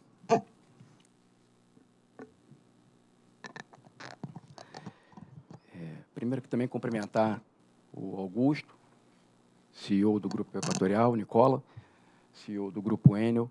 Nesse processo, apesar do relator ser o diretor Elvio, é, ambos executivos sempre tiveram diálogo permanente com todos os diretores, fazendo com que é, todos os pontos fossem imediatamente endereçados. Eu acredito que assim é possível a gente ter um, um perfeito entendimento de tudo aquilo que está no voto do diretor Elvio e do encaminhamento que ele deu. E eu destaco também, diretor Elvio, eu, em algumas oportunidades, eu já, já, já falei até publicamente, esse nosso colegiado que hoje ele se completa com a Agnes aqui, certamente, ao longo dos próximos anos, nós vamos ter que tratar de algumas distribuidoras e sempre levando em conta o interesse do consumidor. Da maneira que chegou esse plano de transferência de controle apresentado e a consequência dele com as interações com os diretores, com o diretor relator e do que consta no seu voto, é, dá para ver que conseguiu fazer com que a conclusão fosse olhando exatamente o consumidor de energia elétrica do Estado de Goiás o diretor Ricardo ele acabou de pontuar que a alternativa ela seria talvez a, a pior alternativa. Seria em 2023 ter a declaração de caducidade e é, a agência ter que fazer uma nova licitação. E o grande prejudicado disso, não temos dúvida, seria sim o consumidor de Goiás. Então, da maneira que está posta, com o waiver, com a fiscalização orientativa de um ano, não de dois, na maneira que foi posta no voto do diretor Elvio, eu acredito que faz com que a gente possa, assim, imaginar que a transferência de controle ela faça com que o consumidor de Goiás ele possa ter mais qualidade na energia elétrica que lhe é entregue. Então, eu não, não tenho qualquer ponto a fazer reparo em relação ao que consta no voto do diretor Elvio, porque eu me sinto contemplado na profundidade do que foi o voto e nos pontos que foram endereçados.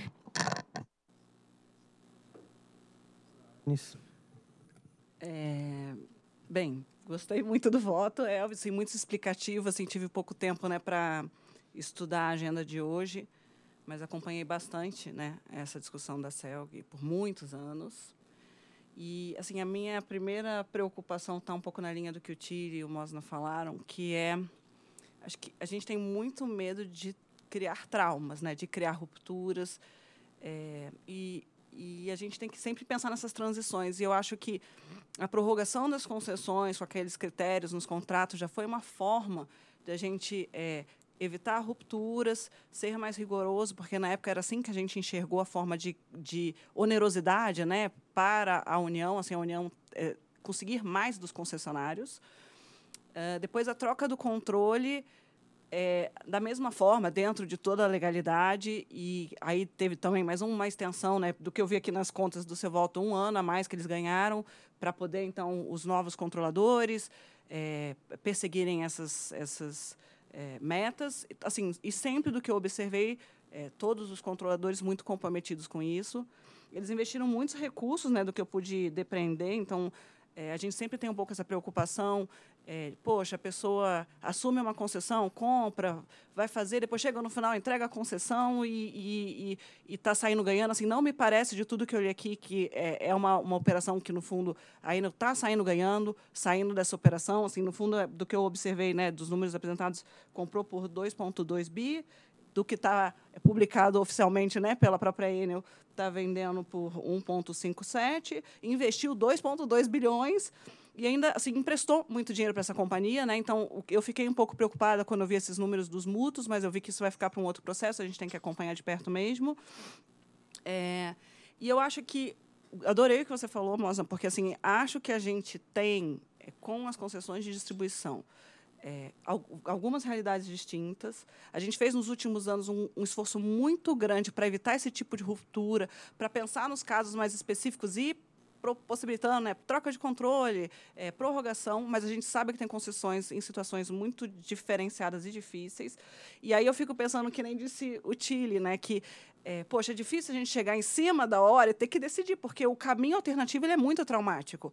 E de tudo que você colocou no voto, para mim, assim, eu estou bastante confortável em ver que foi muito ponderado, é, a solução apresentada foi bastante muito ponderada é, e em prol do consumidor, porque no fundo a gente não está flexibilizando tanta coisa e a gente consegue acompanhar né, de perto o que eles vão fazer.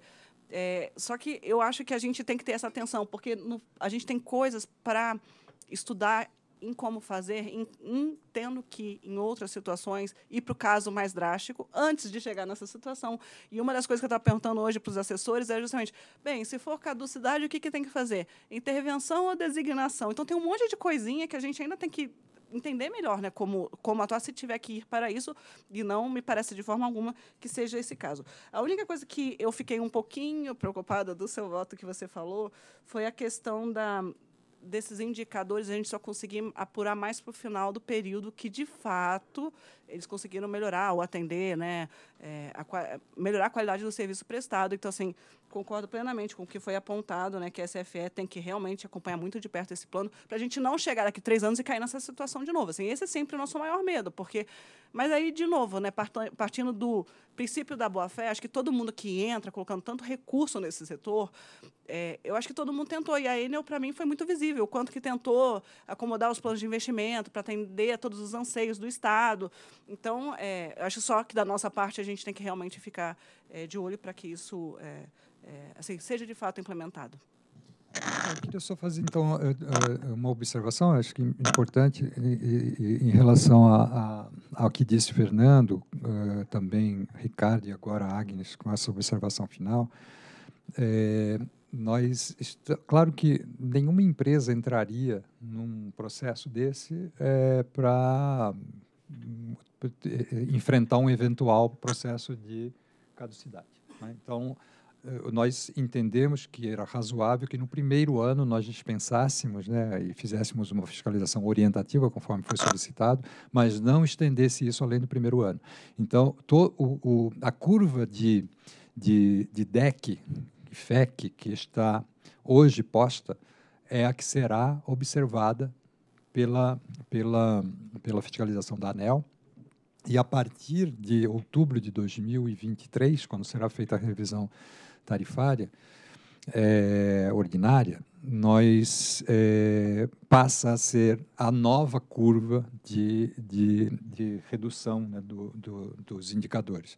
Então, isso será observado pela agência exceto pelo, pela abertura do processo de caducidade nos três primeiros anos. Mas para todas as outras finalidades será, será observado. Então, acho que esse é um, um ponto importante e isso é em é, consideração aquilo que foi dito anteriormente, que em relação, e aí repetindo o que disse o Fernando, é, a, olhando para o consumidor. Quer dizer, aqui é olhando para o consumidor. Os indicadores DEC-FEC, eles, eles são diretamente percebidos pelos consumidores. Tempo de duração de, de, de eventual indisponibilidade do, do, serviço e a frequência em que isso ocorre. Então, acho que esse é um ponto muito importante que nós não é, não poderíamos, nem poderíamos abrir mão dessa de, de, da, da, exigência do cumprimento dessas é, obrigações, desses critérios por conta do protagonismo do consumidor nesse processo. E, e também acompanhando o que vocês disseram, né, nós, nós, claro que estamos sempre seguindo aquilo que está na regulamentação, né, então a, o descumprimento de critérios, de condições estabelecidas no primeiro ano, no segundo ano, é só no terceiro ano que se inicia o processo de caducidade, isso aí é o, é o que está na regra e é claro que precisamos fi, fi, é, é, ser rigorosos na fiscalização para acompanhar para que casos como esse não ocorram na véspera da, da abertura de um processo de caducidade. Então, essas são os, as, as observações que eu faria e antes de, de encerrar essa essa, esta outra participação né, na, na, na, no, na, deliberação desse processo, citar aqui que está presente aqui também o presidente da AGR, Agência Goiana de Regulação, Wagner Oliveira Gomes, então obrigado pela sua presença, que também teve uma participação importante nesse processo, não só, é, não só a AGR, mas também o Conselho de Consumidores, com quem também nos reunimos para tratar desse assunto. É, apenas estressando mais essa parte da preocupação com o consumidor, diretor Elvio, eu fiquei muito contente quando eu vi aqui no seu voto, no item 51, que está dando um direcionamento para a SFE, já desde logo cobrar um plano pré-equatorial, para que faça com que tenha uma certa homogeneidade nos decks dos conjuntos. Porque olhar o deck global, na realidade, não está se traduzindo em toda a realidade da concessão. Então, eu acredito que isso também demonstra que a preocupação é, na prática, fazer com que a qualidade do serviço de energia ele melhore.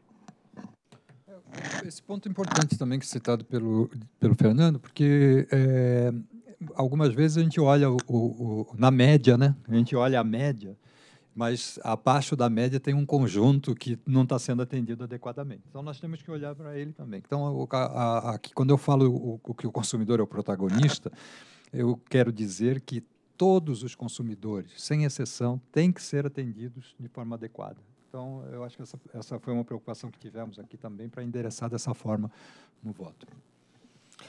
Bem, eh, eu também tenho alguns comentários a fazer, e aqui, até por estar aqui já na ANEL há 18 anos, nós já temos acompanhado, acompanhado de forma privilegiada esse processo de consolidação do segmento de distribuição. Tivemos as privatizações que ocorreram ali no início da década de 90. Muitas dessas concessões já estão aí prestes a serem é, ser discutido o critério de renovação ou não. O critério, o serviço de distribuição é um serviço diferente, é um serviço é, que você tem que manter na essência e no ponto alto a continuidade do serviço. Então, nós, nós como agência reguladora e os formuladores de políticas públicas não podem perder isso de perspectiva. Qualquer escolha no processo de renovação das concessões ou relicitações, se for o caso, ele deve levar em conta essa característica do segmento de distribuição. Dito de outra forma, os operadores que são eficientes eh, deve-se formular algo que privilegie essa eficiência e, claro, trazendo os benefícios ao consumidor. É, benefícios econômicos propriamente dito e também os benefícios da prestação continuada do serviço por operadores eficientes. E quando nós verificamos este processo, ele é um processo muito melhor do que outros que tivemos no passado. E apenas para verificar que as flexibilizações que estamos discutindo aqui, elas são muito diferentes de outras que discutimos, por exemplo, do processo de eh, privatização ou de transferência de controle das concessões do Grupo Eletrobras. Naqueles casos, as flexibilizações foram maiores, a, a, as flexibilizações, a questão do, das revisões tarifárias extraordinárias que foram excepcionalmente atribuídas naqueles casos. E neste caso não, é diferente, porque ainda que a, o grupo Enel não tenha conseguido é, cumprir, adimplir o, o contrato, é, o nível de eficiência da concessão é muito diferente do nível que foi quando a empresa recebeu há quatro anos atrás. Então, seguramente, o trabalho que lá foi feito pelo Grupo Enel é, nem, não foi muito, pelo contrário, de todo perdido. Tanto é que o consumidor, neste momento, não precisará arcar com uma revisão tarifária extraordinária. A fiscalização não, pode, não precisará ficar três anos ou dois anos sem atuar. Então, verificamos este processo como mais um processo de consolidação do setor de distribuição. E que, por regras de mercado, onde os grupos mais eficientes permanecem na operação. Aqui nós verificamos claramente que o formulador de política pública acertou na diretriz que foi colocada quando da renovação dos contratos. A agência reguladora, da mesma forma, está fazendo cumprir o que está previsto no contrato e os agentes econômicos fizeram de forma é, acordada as condições pactuadas no negócio havido. O consumidor está perfeitamente atendido neste processo, uma vez que a opção não se mostraria mais favorecida, não se mostraria mais viável. A configuração da necessidade de um plano de transferência, a meu juízo, está muito bem caracterizada e, como o diretor Elvio falou, citou, e também os diretores que atenderam o governador, a reunião não foi apenas com o diretor-geral e nem tampouco com o relator, nós quando o governador pediu audiência, nós colocamos todo o colegiado, exatamente pela razão de que a decisão é do colegiado. E assim fizemos. Então, o assunto foi muito bem discutido, como o diretor Elvio citou, é, com as partes envolvidas. Eu também atendi o, as duas empresas e também os diretores, como o doutor Fernando é, acabou de mencionar. Tivemos aqui é, uma manifestação legítima do senador pelo estado de Goiás, Jorge Cajuru, e também uma manifestação do senador Vanderlan, no sentido de mostrar a preocupação e a vigilância do controle pelo Poder Legislativo. É, ao sair aqui da reunião, o senador é, nos procurou mostrando as suas preocupações e o que eu falei a ele que nós estamos integralmente, totalmente à disposição para sanar quaisquer dúvidas que, porventura, ele possua, como também o senador eh, Vanderlan e também o governo do Estado, que é, de fato, eh, parte importante nesse processo, pois a, o Grupo Equatorial, a partir de agora, eh, em sendo aprovado, atuará eh, no governo, no, no Estado de, de Goiás e terá a necessidade de ter uma interlocução é, bastante próxima com o governo do Estado, como tem feito isso em todas as concessões que opera. É, temos aqui que a Enel é, descumpriu o DEC em 21 e seguramente, pelo que foi trazido, também descumpriria o ano 20, do ano de 22, o que levaria a um, uma abertura de um, contra, de, um, de um processo de caducidade da concessão, o que, de forma bastante é, uníssona, é, é o entendimento de todos que não é a melhor solução para este caso concreto. Na análise, eh, me parece aqui, e afirmo com segurança, que o, a proposta de voto ela busca e traz eh, o interesse público como a, a, principal motivação da decisão tomada. Os pontos a serem aprovados no plano de transferência estão em linha com o que deu a causa principal à abertura do, do processo, ao potencial abertura do processo de caducidade.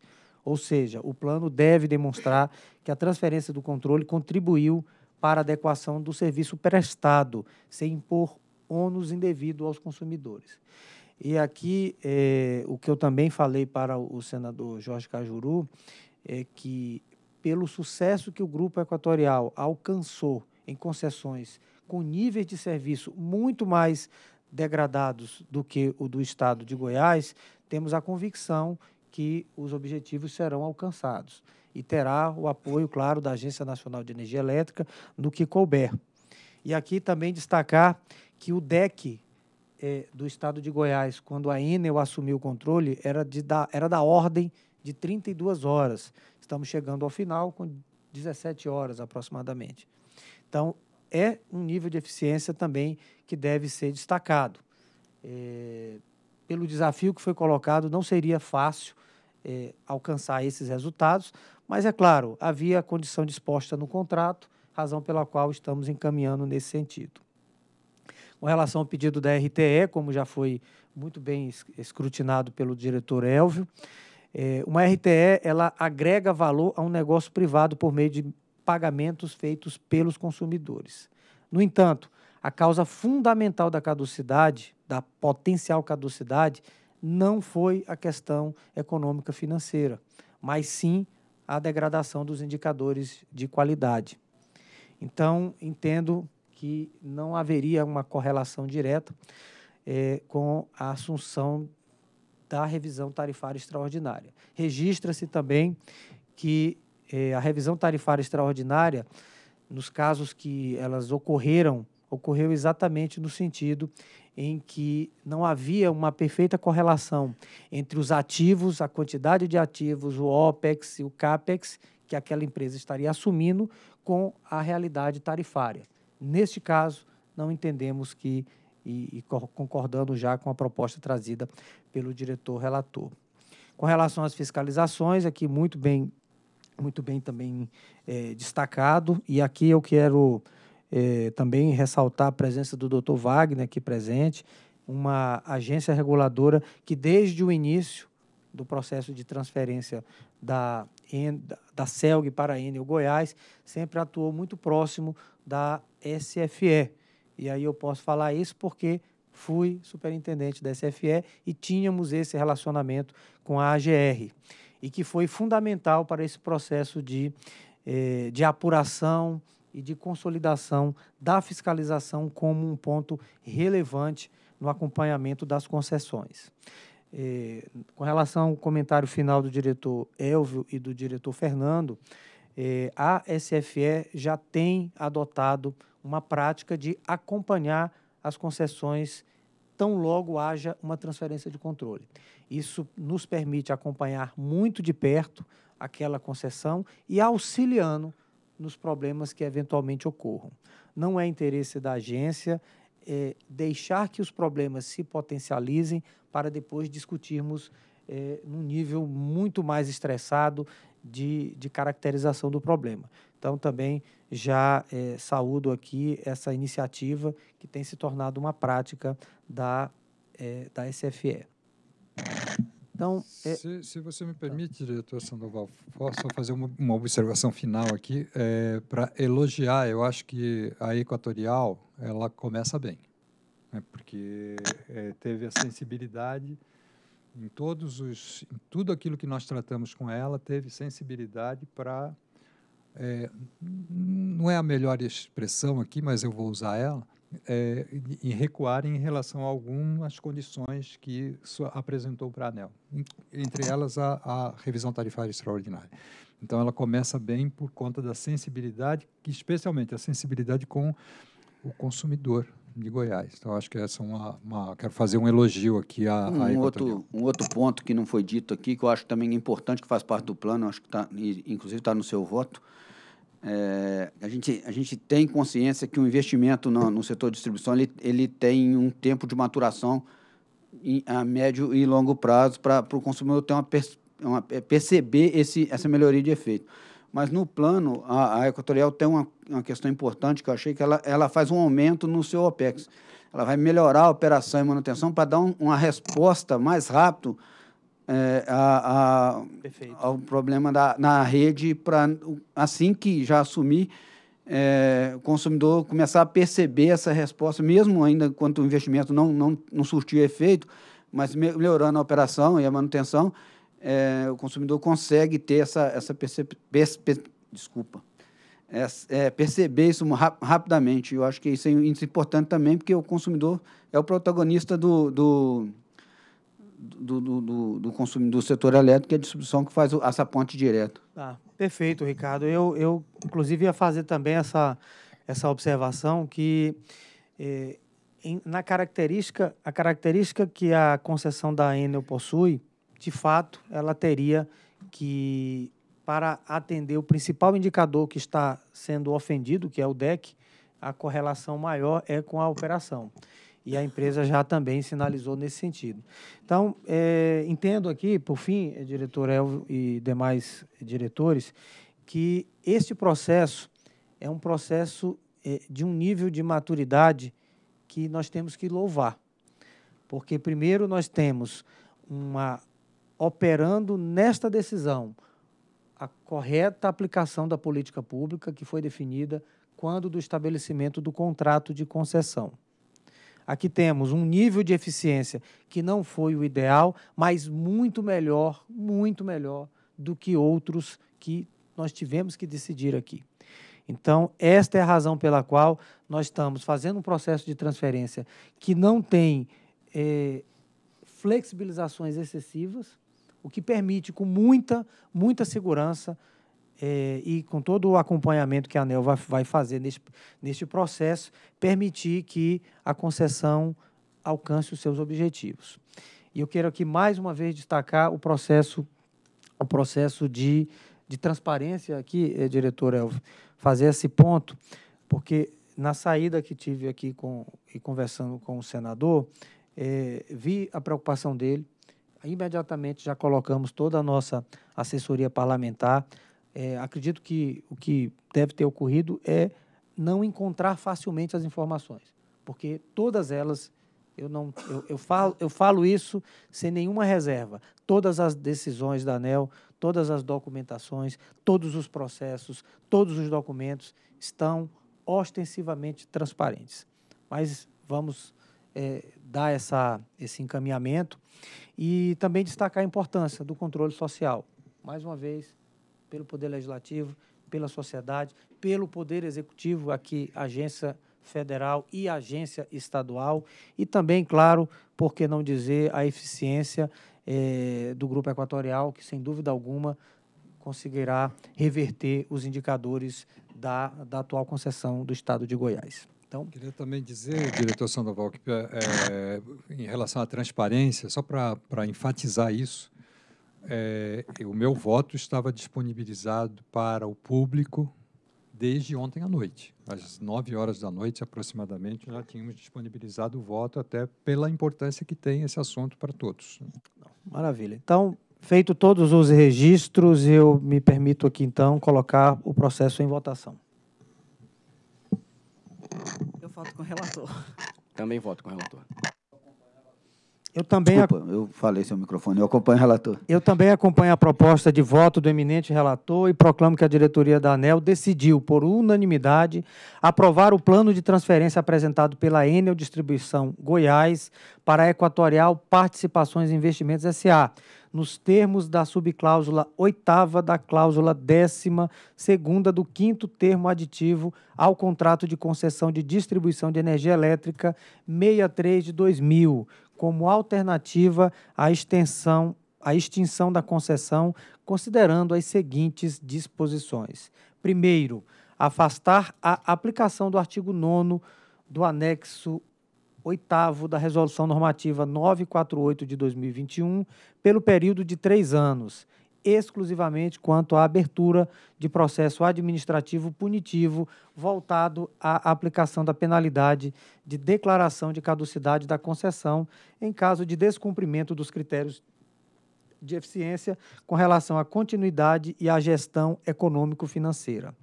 Item B Fiscalização com caráter orientativo no primeiro ano da assinatura do aditivo ao contrato de concessão, assegurada a aplicação de penalidades nos casos de descumprimento de determinações feitas pela diretoria da ANEEL.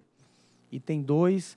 Anuir previamente a transferência do controle da CELG Distribuição SA Enel Distribuição Goiás que passará a ser detido diretamente pela Equatorial Participações e Investimentos SA. Conceder 120 dias para a implementação da operação, a contar da data da publicação do despacho que consubstancia esta decisão. E, por fim, conceder prazo de 30 dias para a concessionária enviar à SFF, Superintendência de Fiscalização Econômica e Financeira, cópia autenticada dos documentos comprobatórios da formalização da operação, a contar da data de sua efetivação. Próximo item, senhor secretário. Por decisão do diretor relator, eu registro a retirada de pauta do item 4, de forma que passo a chamar o item 13. Processo 48.500.005614, 2022, dígito 97. Assunto: Pedido de medida cautelar protocolizado pela Barra Bonita Óleo e Gás, com vistas ao cumprimento pela Câmara de Comercialização de Energia Elétrica da medida cautelar deferida pelo despacho 1688 de 2022. Diretor relator Fernando Mosna e informo que é um pedido de sustentação oral para este item. Em 28 de junho de 2022, por meio do despacho número 1688, a ANEL decidiu por suspender as penalidades por atraso na entrada de operação comercial da usina termoelétrica UTE Barra Bonita 1, até primeira decisão administrativa da diretoria da ANEL quanto à análise de excludente de responsabilidade pelo atraso na implantação da usina.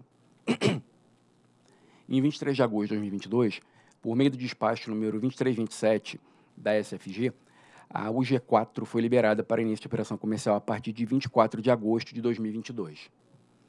Em 2 de setembro de 2022, por meio do despacho SFG número 2449, a UG5 foi liberada para início de operação comercial a partir de 3 de setembro de 2022. Em 5 de setembro de 2022, por meio do despacho SFG 2473, as UG1 e UG7 foram liberadas para início de operação comercial a partir de 6 de setembro de 2022.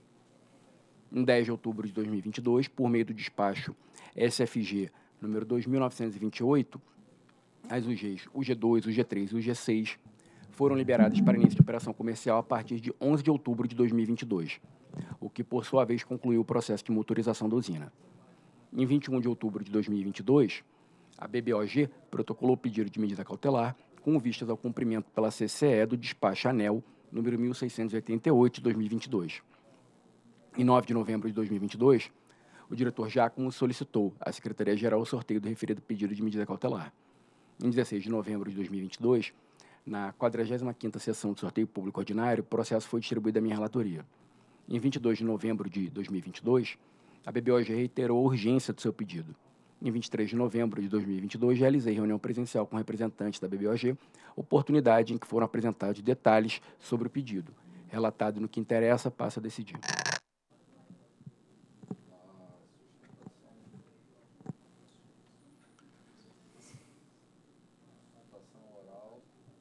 Desligado.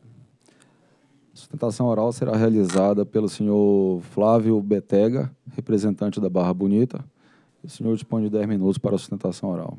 Obrigado, senhor secretário. É, é, senhores diretores, é, queria, antes de mais nada, me associar a todos aqui na saudação à diretora Agnes, que, que hoje assume. Né? E, em meu nome, tenho certeza que falo por todos os advogados que militam aí no setor, embora destituído um mandato específico, eh, desejo à senhora uma profícua gestão e cumprimento pela investidura muito honrosa. E só acrescento que a senhora, na verdade, é mais uma de uma linhagem de mulheres ilustres que ia brilhantar essa bancada. Né? Então, não vamos esquecer aquelas que a precederam e tenho certeza que a senhora estará à altura aí desse desafio e fará uma grande contribuição para o setor elétrico. É, muito obrigado. É, senhores diretores, é, o que me traz aqui à tribuna hoje é uma medida cautelar que é apresentada pela Barra Bonita, Barra Bonita é uma pequena usina que vendeu energia no PCS. Né? É, e essa minha apresentação está dividida é, por uma, um imperativo cartesiano aí. Primeiro, na menção alguns fatos que nos parecem indispensáveis para a compreensão do contexto. É, a medida cautelar que foi já deferida em amparo da Barra Bonita, que foi bem mencionada aqui pelo eminente é, relator, o diretor Fernando. É, o ato surpreendente né, praticado pela CCE, é, na medida em que foram sendo contabilizadas né, a, a, a, energia injetada pela Barra Bonita no sistema, é, a partir do início da, da operação comercial do projeto, é, o pedido efetivamente em pauta, né, é, os fundamentos para o seu deferimento e o dano grave e irreparável, verdadeiramente, é que está sujeito esse agente caso não haja essa salvaguarda né, que respeitosamente se postula que é a diretoria colegiada. Muito bem, senhores. Ah, como mencionei, a Barra Bonita é, um, é uma térmica que acorreu esse leilão de energia de reserva, né, é, é convocado em caráter emergencial naquele contexto de escassez hídrica. Né? Portanto, é importante que nós tenhamos sempre presente a, as circunstâncias né, que levaram o poder público a fazer esse chamado aos investidores.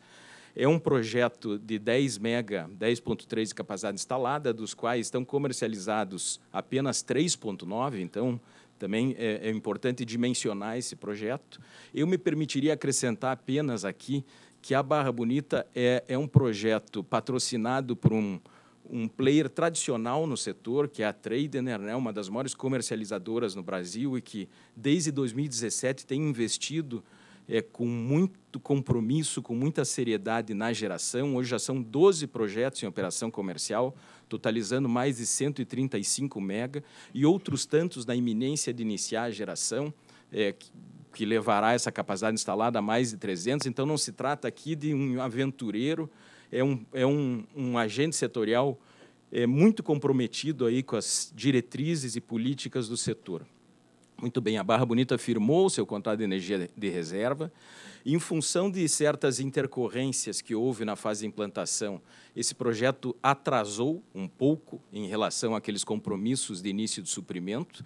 É, eu não vou me estender sobre isso aqui, porque essas excludentes estão sob análise da capacitada relatoria do Dr. Ricardo Tille, né? E, e, e é preciso dizer que, inclusive, depois da fase de implantação, a formalização do reconhecimento do início da geração comercial é, das sete unidades que compõem esse projeto, eles sofreram também toda uma série de intercorrências em função das características da conexão desse projeto na rede de distribuição.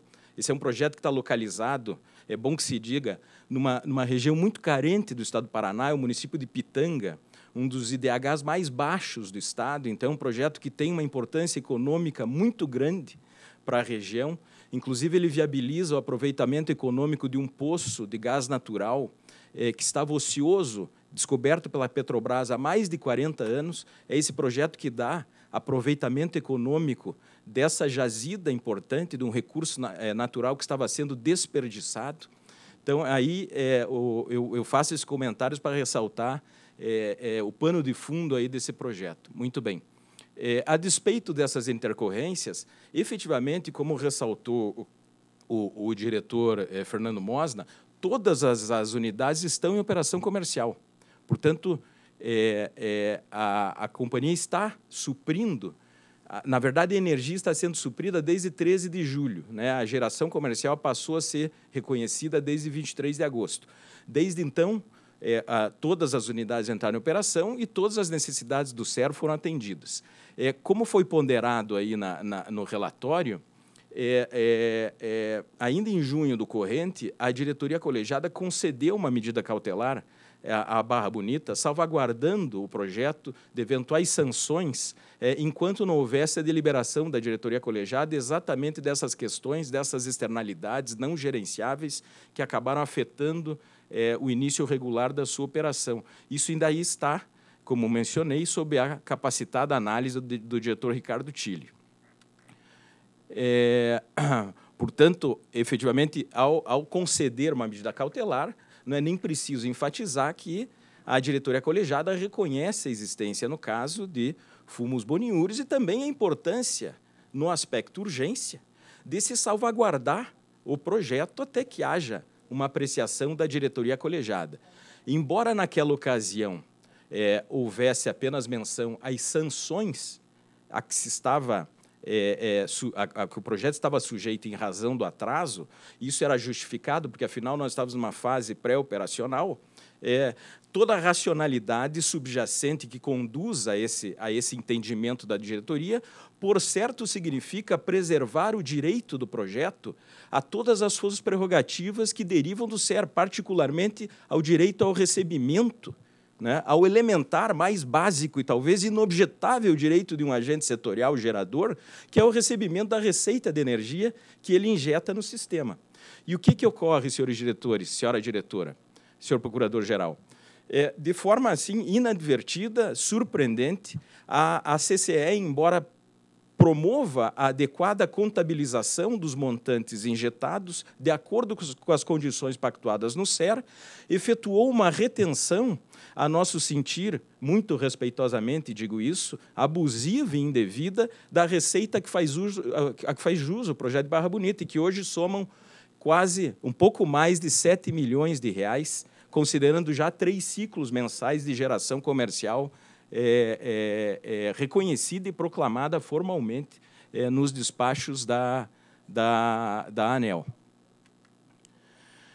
Bom, em face desta situação verdadeiramente é, insustentável, né, que significa asfixia financeira do projeto, é que se buscou e que se busca a essa diretoria colegiada que uma medida cautelar é, é, que eu diria até tem a inspiração de salvaguardar a cautelar original, salvaguardar a autoridade da medida original e esclarecer a CCE que, da mesma forma como esse projeto não pode ser apenado né, com sanções até que se conclua a análise das situações que estão na pauta da ANEL, também haja um comando para a liberação da receita que faz jus. Né? É, não é possível dar com uma mão e retirar com a outra. Né? Não é possível não apenar e, e não pagar aquilo que o projeto faz jus, porque uh, essa postura da CCE acaba por esvaziar por completo em termos concretos, o conteúdo objetivo da medida cautelar. Né? Então, o que se trata aqui é, em primeiro lugar, assegurar a medida cautelar que já foi concedida. E que, se não fosse assim, né, é, é, é ampliar o sentido dessa medida cautelar para afastar essa, essa indevida retenção e já que se trata, na essência, né, de mandar cumprir o contrato de energia de reserva, que está em vigor e produzindo efeitos, a despeito da existência, que não se desconhece, né, é, de discussões no ambiente da agência, ainda em fase de instrução e discussão, sobre as excludentes e uma eventualidade hipotética, inclusive, né, falando em tese apenas e por artifício de raciocínio, de, de, de rescisão deste contrato. Ora, enquanto isso não acontecer, diz o SER que o vendedor faz jus à receita fixa a partir da entrada de, de operação comercial da usina. É, é, e, e, assim, até estendendo um pouco mais esse raciocínio em, forma, em, em torno da hipotética é, rescisão, é, mesmo nesse caso, não haveria é, como isso é, é, pudesse produzir efeitos de maneira retroativa. Teria efeitos apenas prospectivos, porque, afinal, o, esse contrato vi, vigora e está em pleno vigor. E aqui, senhor diretor-geral, já me, me aproximo aqui do encerramento, peço licença para enfatizar efetivamente o caráter urgente dessa intervenção do regulador na salvaguarda do contrato e da autoridade da própria decisão pretérita da agência, porque os prejuízos são efetivamente insuportáveis. Aqui nós fazemos aqui o breakdown dos custos operacionais da usina, que montam a aproximadamente 2 milhões de reais por mês, é, há, três, há três meses, como mencionei, o empreendedor está privado da receita que faz jus. Obviamente, não é preciso né, muita reflexão para que se conclua que essa é uma situação verdadeiramente é, é, é, de vida e morte, entre aspas, me perdoem o exagero retórico do projeto, é, e, portanto, é, em função disso é que se postula muito respeitosamente ou que se reafirme a autoridade da cautelar já concedida, de maneira a esclarecer que ela também salvaguarda o direito à percepção da receita, ou que se estenda a cautelar para fazer frente a esta situação específica que se desenhou agora de forma superveniente né, em relação àquilo que foi é, inicialmente deferido, lembrando que é da natureza das medidas cautelares que sejam ajustadas à necessidade do agente setorial. Então, agradecendo aí a atenção que me dedicaram, é, é, aguardo a deliberação de vossas senhorias.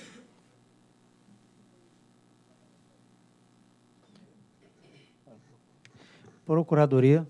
Ah, só, só um momento. Há mais alguma sustentação oral, senhor secretário? Então, solicito manifestação da Procuradoria. Muito obrigado, senhor diretor-geral. É, muito obrigado pela sustentação oral. A Procuradoria não se manifestou por meio de parecer nesse caso específico, mas a diretoria tem, tem, tem dado, eh, já deu cautelares em outros casos, é, quando se trata de cobrança de penalidade, até do PCS, como ocorreu com a KPS, até que a ANEL, a própria diretoria da ANEL, analise o pedido feito de excludente de responsabilidade, como me parece ser o caso. Então, com essas considerações, eu devolvo a palavra ao relator. Obrigado, Luiz Eduardo desde que eu tomei posse, eu pedi para o gabinete como regra para instruir os processos oitiva da Procuradoria. Mas em casos de cautelar, eu acredito que o maior valor que a gente pode prestar para a gente é a celeridade. Então, nessas situações, eu acabo realmente não pedindo parecer jurídico. É, Trata-se de análise de pedido de concessão de medida cautelar, interposto pela Barra Bonito Óleo Gás Limitada, BBOG, com vistas ao cumprimento pela CCE do despacho número 1688 de 2022, que decidiu por. Eu vou ler a parte destacada em negrito. Suspender eventuais penalidades por atraso na entrada em operação comercial da usina termoelétrica UTE Barra Bonita 1, no âmbito da subcláusula 7.10 do contrato de energia de reserva número 450 de 2021, incluindo suspensão da penalidade de multa já aplicada no âmbito da liquidação financeira relativa ao mês de maio de 2022, até a primeira decisão administrativa da diretoria da ANEL, quanto à análise de excludente de responsabilidade pelo atraso na implantação da usina. Passa, por favor, direto para o item 20. Os demais itens é, são os justificadores da cautelar, da apreciação cautelar pela agência. Primeiramente, cumpre destacar que, conforme subcláusula 7.10 do SER, a penalidade por atraso é calculada em função dos dias horas em atraso, da receita fixa unitária, RFU, e da energia contratada, EC, do empreendimento, da razão entre a potência em atraso e potência total após completa motorização, multiplicado por um fator de 0,5. Ou seja, uma usina que esteja 100% em atraso durante um mês inteiro, além de não receber receita fixa no mês, arcará ainda com uma penalidade correspondente a 50% de sua receita fixa mensal. Por outro lado, assim que todas as unidades geradoras entrem em operação comercial, caso da UTE Barra Bonita 1, a partir da liquidação referente a novembro de 2022, essa penalidade deixa de ser apurada mensalmente, sem prejuízo da cobrança dos valores de penalidade por atraso de meses anteriores. Posto isso, conforme informado pela requerente 21 de outubro de 2022, a despeito de a UTE Barra Bonita 1 ter apresentado uma receita de venda total superior a 2,7 milhões de reais nos meses de referência de agosto e setembro de 2022, ao considerar o mês de outubro os valores ultrapassam 6 milhões de reais, ela não recebeu qualquer pagamento, pois a CCE efetuou a retenção dos valores de penalidade por atraso na entrada em operação comercial. Sumariza a seguir os resultados financeiros relacionados ao TE Barra Bonita 1 desde o início do suprimento. Então, basicamente ali os valores que ela deveria receber acabaram sendo retidos pela CCE. A primeira coluna da tabela acima corresponde à receita de venda total do empreendimento subtraída do ressarcimento de energia inflexível não fornecida no contrato de energia de reserva, CER ao passo que a segunda coluna apresenta os valores de penalidade por atraso na entrada em operação comercial, e a terceira coluna indica os valores de receita que foram retidos pela CCE. Portanto, caso a penalidade por atraso de que trata a subcláusula 7.10 do CER tivesse sido suspensa pela CCE, o agente teria recebido pouco mais de 6,6 milhões de reais, considerado ressarcimento por geração inflexível não fornecida, o que é uma parte bem diminuta dos consumidores. No que se refere à retenção de receita, a CCE pontuou por meio da carta enviada à BBOG 4. Feita essa breve contextualização, reafirma-se o quanto exposto no chamado ativo número 39146, de que a Câmara aguarda a manifestação da agência reguladora para a adoção das medidas cabíveis em relação à situação da UTE Barra Bonita 1. Tendo em vista aqui, mesmo após ter sido notificada para regularização no prazo de 15 dias úteis, na forma prevista no CERS, permaneceu na situação de atraso na entrada em operação comercial, o que configura uma das hipóteses de resolução direta do CER, após prévia manifestação da ANEL. 5. Nesse sentido, em cumprimento ao disposto no CER, em 23 de agosto de 2022, a CCE reportou à agência a situação da usina e, por essa razão, aguarda a manifestação do regulador sobre a resolução do respectivo contrato, assim como as demais providências oriundas do CER, tal como a liberação de recebimento de receita fixa mensal. Além disso, vale salientar que a usina está parcialmente em operação à época dessa carta, dado que apenas quatro de suas usinas geradoras estão em funcionamento, restando ainda pendente regularização de outras três unidades geradoras para sua completa operação comercial. 7. Sobre esse ponto, cumpre ressaltar que o próprio CER determina que o período de suprimento teria início em 1 de maio de 2022 e, como mencionado antes, que o atraso superior a 90 dias na entrada em operação comercial do empreendimento em relação ao início de suprimento constitui hipótese de rescisão do CER. Dito isso, tem-se que a operação parcial da usina não exime de eventual resolução do contrato, dado o inadimplemento ocorrido e a permanência da situação de atraso após o prazo contratual de regularização, o que justifica o não pagamento da receita fixa até que a ANEL se pronuncie a respeito. É, eu vou pular essas partes, depois do negrito, por favor. Isso, essa é a última. É, também na carta, não se trata de não pagamento de receita fixa, mas de mera retenção até que a agência defina sobre a causa de inadimplemento do contrato, seus efeitos, sua possível resolução. É, qual é o ponto que aqui eu gostaria de destacar. Teve uma cautelar da agência, impedindo que fosse aplicado qualquer tipo de penalidade. E a interpretação da CCE é no sentido de que ela poderia fazer a retenção desses valores enquanto a agência não se pronunciar quanto ao eventual descumprimento ou não de, da, da barra bonita em relação ao PCS. Continuando. Destaco que não se discute aqui o excludente de responsabilidade da UTE barra bonita 1, tampouco seus rebatimentos contratuais e até eventual rescisão, que deverão ser enfrentados no processo específico, mas tão somente a avaliação do alcance da suspensão das penalidades por atraso na entrada em operação comercial de que trata o despacho número 1688 de 2022. Posto isso, de forma objetiva, se o referido despacho determinar suspensão da penalidade da subcláusula 7.10, entendo que a sua aplicação não é execuível, seja por cobrança ou por retenção de receita até a primeira decisão administrativa da diretoria da ANEEL quanto à análise de excludente de responsabilidade pelo atraso na implantação da usina. Esse trecho que está entre aspas é justamente o que consta do despacho 1688. Desse modo, reputo presente no caso concreto a fumaça do bom direito. Por que, que eu entendi que está reputada a fumaça do bom direito? Porque tem uma decisão da agência. No que se refere aos argumentos trazidos pela CCE, julgo pertinente realizar comentários adicionais quanto ao fundamento de a suspensão da cobrança das penalidades não trazer maiores prejuízos para os usuários de energia de reserva. Conforme consta do voto condutor do despacho número 1688 de 2022, abre aspas, as eventuais penalidades podem ser lançadas pela CCE na liquidação subsequente, com a devida atualização dos valores, sem maiores prejuízos para os usuários de energia de reserva, fecha aspas. Logo, dado que a suspensão da penalidade por atraso na entrada em operação comercial é reversível, não há que se falar em prejuízo aos consumidores. Ademais, com relação ao custo mensal percebido pelos consumidores de energia de reserva desde a entrada em operação comercial da primeira UG da UTE Barburita 1, há que se destacar que esse pagamento é realizado com a contrapartida pelo gerador da entrega de energia, que por sua vez é liquidado em nome dos respectivos consumidores. Ressalto ainda que, segundo o agente, expressiva parcela desta receita, cerca de 1,8 milhão de reais mensais, é destinada ao pagamento dos custos operacionais, combustível referente em flexibilidade contratual, locação de equipamentos, TUSD, etc. Logo, entendo que o não pagamento pode eventualmente acarretar incapacidade de atendimento ao contrato, motivo pelo qual julgo presente também o perigo da demora. Desta forma, dada a presença dos requisitos para a concessão da tutela de urgência, entendo que não se deve realizar retenção de receita para fins de pagamento da penalidade de que trata a subcláusula 7.10 do contrato, até a decisão administrativa em primeira instância da excludente responsabilidade. Dispositivo, por favor. Diante do exposto, considerando que consta do processo número 48.500.005614-2022-97, voto por conhecer do pedido de medida cautelar interposto pela empresa Barra Bonita Óleo e Gás Limitada, BBOG, para dar-lhe provimento, de modo a não reter receitas de venda no contrato de energia de reserva número 450 de 2021, em virtude de eventuais penalidades por atraso na entrada em operação comercial da UTE Barra Bonita 1, no âmbito da subcláusula 7.10 do contrato até a primeira decisão administrativa da diretoria da ANEL quanto à análise de excludente de responsabilidade pelo atraso na implantação da usina. Em discussão a matéria.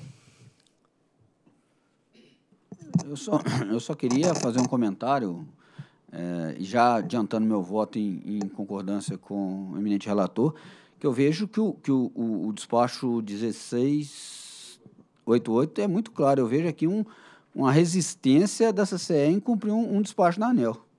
Então, a partir do momento que se a, a, a penalidade está suspensa, ele não há que, que a CCE, é, por, por conta própria, fazer retenção de, de, de, valores a ser pago a gente.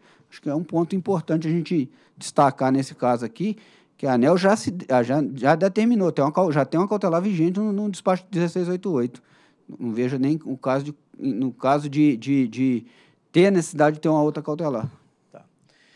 É, eu tenho só também aqui alguns comentários a fazer. Apenas é, me permita aqui, é, é, doutor Luiz Eduardo, só fazer uma pequena retificação na comparação que houve com o caso da, da KPS. No caso da KPS, é, houve o julgamento da excludente de responsabilidade, ela foi negada em primeira instância. Houve naquela decisão, o colegiado também decidiu revogar a outorga, o que houve um efeito suspensivo, mantendo as outorgas, porém mantendo-se integralmente as penalidades aplicadas. Neste caso aqui, é, não há julgamento de excludente de responsabilidade ainda em primeira instância. E foi confirmado aqui pela área de fiscalização que é o único caso que pende de julgamento. Não foi julgado ainda. E aí a preocupação que ela fica é se essa situação perdurar por muito tempo, depois nós termos um, um fato consumado e o agente argumentar. É claro que há, sim, a possibilidade da reversibilidade, mas a reversibilidade ela é em sentido amplo, tanto do lado do agente em receber eventuais receitas frustradas, como também do consumidor é, receber também, é, na realidade, as penalidades ou não pagar eventual receita. Ou seja, aqui se discute é haveria necessidade de posteriormente, caso julgada a excludente responsabilidade, e não seja dado razão ao, ao recorrente, é, de haver a devolução como também se for julgado a excludente responsabilidade e considerado é, aceito as motivações trazidas pelo agente, ele também receberá essa receita. Então, apenas para dizer que a reversibilidade é no sentido amplo.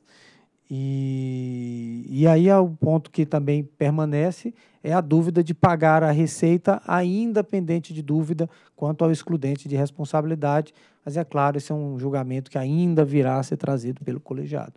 Acho que é basicamente esses pontos que eu trago para reflexão dos, dos diretores?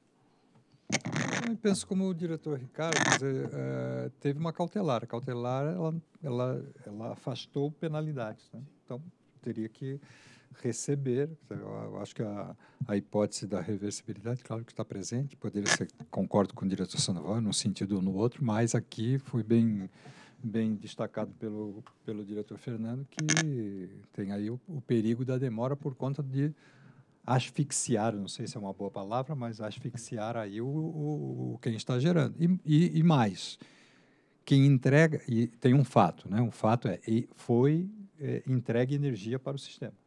Esse é o fato né, que está sendo entregue.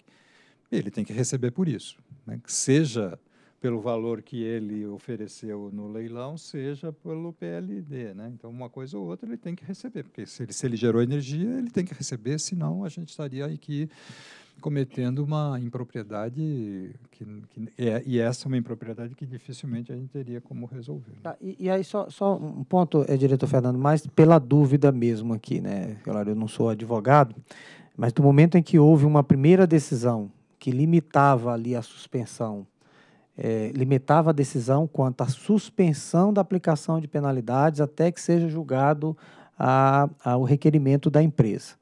E aí eu, eu fiz essa dúvida aqui para o secretário, não, não consegui formular ainda.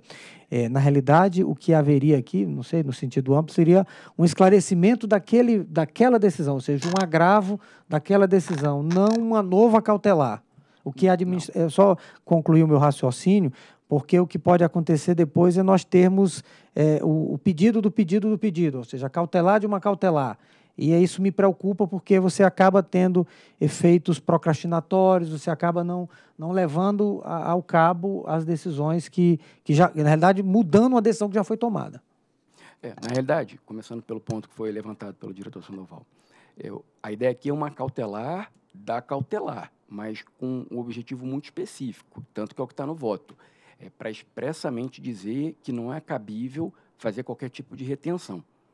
E por que, que eu achei que valeria a pena ser esse o encaminhamento? Porque a decisão, a, o despacho 1688, ele impede, de modo genérico, a aplicação de qualquer penalidade, e aí depois tem uma vírgula, inclusive. Então, colocando de modo muito específico, essa cautelar, se for a decisão do colegiado, ela faria com que não pudesse ter a retenção de valores até a decisão da primeira instância administrativa na excludente. Ou seja, essa cautelar aqui, ela vale unicamente até o momento que o colegiado deliberar a respeito da excludente. E quanto ao ponto que o diretor colocou, Nesse caso, como ela está operando e tem esse despacho 1688, ela está recebendo a valores do, P, do PCS. Pode ser que a consequência seja outra, a depender do entendimento desse colegiado, porque ela gradativamente foi entrando em operação faseada. Entrou um G, entraram três, entrou uma, até que, se não me engano, 11 de outubro, que ela entrou em operação integral. Mas isso aí é uma outra questão. Nesse caso daqui, é apenas para fazer com que não seja possível ter a retenção dos valores do pagamento da energia que está sendo gerada. É, é, só um ponto. Ela entrou em operação quando, a primeira máquina? 23, peço licença, diretor-geral, fazer isso. 23 de agosto. 23 de agosto, ou seja, é após, o, após o período da, da estabelecido da, do, do é, Se Vossa Excelência me permite, só um esclarecimento. É, é na verdade, segunda-feira é o dia útil imediatamente seguinte aos 15 dias concedidos pela CCE por cura. Mas o DAPRP foi emitido antes. Até nós sustentamos com muita tranquilidade que ela já estava, já reunia né, os requisitos para a operação comercial antes do despacho, que tem uma feição declaratória, esse esclarecimento. Mas ah, foi num, um dia útil imediatamente seguinte. É, o despacho é de 28 de junho, a UG4 entrou em operação 23 de agosto, a UG5 em 2 de setembro, o G1 e o G7 em 5 de setembro e, finalmente, em 10 de outubro, o G2, o G3 e o G6. Mas qual é a questão? Nesse nosso caso aqui, isso aqui não é tão relevante. Vai passar a ser relevante quando nós formos analisar para ver se a Barra Bonita entrou em operação a tempo, levando em conta esse prazo de cura, eventual excludente e o entendimento de que o empreendimento entra em operação a partir da motorização da última G. Mas nada disso importa para nós nesse momento, nem foi abordado aqui no voto. Entendi. Bem, é... eu fiquei na dúvida, porque. É, ele não entrou em operação, pelo que eu entendi, ele entrou em operação no mês de julho com a primeira máquina. Não, em 28 de junho foi o despacho, garantindo para ele a cautelar. A primeira máquina entrou em 23 de agosto ao G4. Na, na realidade, o que aconteceu foi a, o despacho do diretor Giacomo foi do dia 28 de junho. E nesse despacho ele, ele assim consignou no dispositivo. Estão suspensas as aplicações de penalidades, está aqui, é, no âmbito da subcláusula 7.10 do contrato de energia de reserva, é, vamos, vou, vou ler aqui novamente o despacho. Voto por conhecer do pedido de cautelar interposto pela empresa Barra Bonita, Óleo e Gás Limitada, para dar-lhe parcial provimento, de modo a suspender eventuais penalidades por atraso na entrada de operação comercial da usina termoelétrica Barra Bonita 1, no âmbito do subcláusula 7.10 do PCS, incluindo penalidade incluindo suspensão de penalidade de multa já aplicada no âmbito da liquidação financeira relativa ao mês de maio, até a primeira decisão administrativa da ANEL. Então, nessa, essa foi a decisão de suspender a aplicação de penalidades. E aqui eh, vou, vou, destacar que eh, o diretor Giacomo, em outros julgados similar, a, a decisão dele foi exatamente a mesma. Até a, até a decisão em primeira instância, suspendeu-se a aplicação de penalidade. Mas esse e aí, despacho é do colegiado. Não, não, mas claro, esse foi o despacho, quando eu digo disso, é o despacho que ele submete ao colegiado e o colegiado aprova. É só para. É, então foi isso que aconteceu. E, no entanto, a primeira máquina entrou em operação, como o doutor Fernando acabou de falar, dia 23 de agosto. Então é isso. Doutora Agnes, por Sim, favor. alguns comentários e desculpa, Mosna, que eu não tive tempo de conversar com você sobre esse processo antes, espero não tumultuar, mas assim, entendi muito do que você colocou no voto. Mas assim, eu tenho de verdade algumas perguntas antes de fazer comentário. Minha primeira pergunta é: a CCE ela tem essa discricionariedade de fazer essa retenção dessa como é que chama isso dessa penalidade não, na verdade, a receita, a penalidade, ela penalidade. tacitamente ela, ela recebeu o comando para não aplicar. Tá. É, não, porque tem uma decisão da agência no sentido de que não pode aplicar nenhuma penalidade. E reter essa receita é uma penalidade. Então, a CCE, como o diretor Ricardo colocou, ela está descumprindo um comando da agência. E a penalidade por atraso? Sim, tá, por atraso. É, é, porque no, no âmbito do PCS teria é, alguns marcos temporais para poder entrar em operação. O primeiro deles, 1 de maio. Se não entrasse em 1 de maio, 1 de agosto, a CCE notificaria do atraso, se tivesse em atraso, e aí teria 15 dias úteis para poder esse período de cura, que é chamado na agência. Então, em tendo atraso, teria aplicação de multa. É, assim, eu entendo que nem a direção do VO colocou, que a gente sempre fica preocupado com a reversibilidade, e talvez por esse, por, digamos, pelo princípio da precaução, a, a CCE decidiu, é, talvez, em contrário ao despacho, fazer essa retenção da receita em função da penalidade, mas, por um lado, acho estranho, haja vista que a gente tem que decidir o mérito, se há atraso ou não. Então, a, acho um pouco estranho. Mas, por outro lado, olhando para o princípio da reversibilidade, o ponto que o Elvio colocou e que você, eu acho que refletiu um pouco, minha dúvida é, a gente, se a gente concordar é, em manter o pagamento da receita, tem que ser a do contrato ou pode ser pelo PLD? Porque a depender de quando ocorrer essa decisão do mérito, a depender do tamanho, do valor, a reversibilidade é muito maior se for pelo valor do contrato. Então, assim, pensando justamente numa solução de meio termo, eu não sei se você foi algo que você chegou a analisar. É, isso daí, na verdade, é, uma, é um assunto que a gente vai ter que enfrentar mais à frente.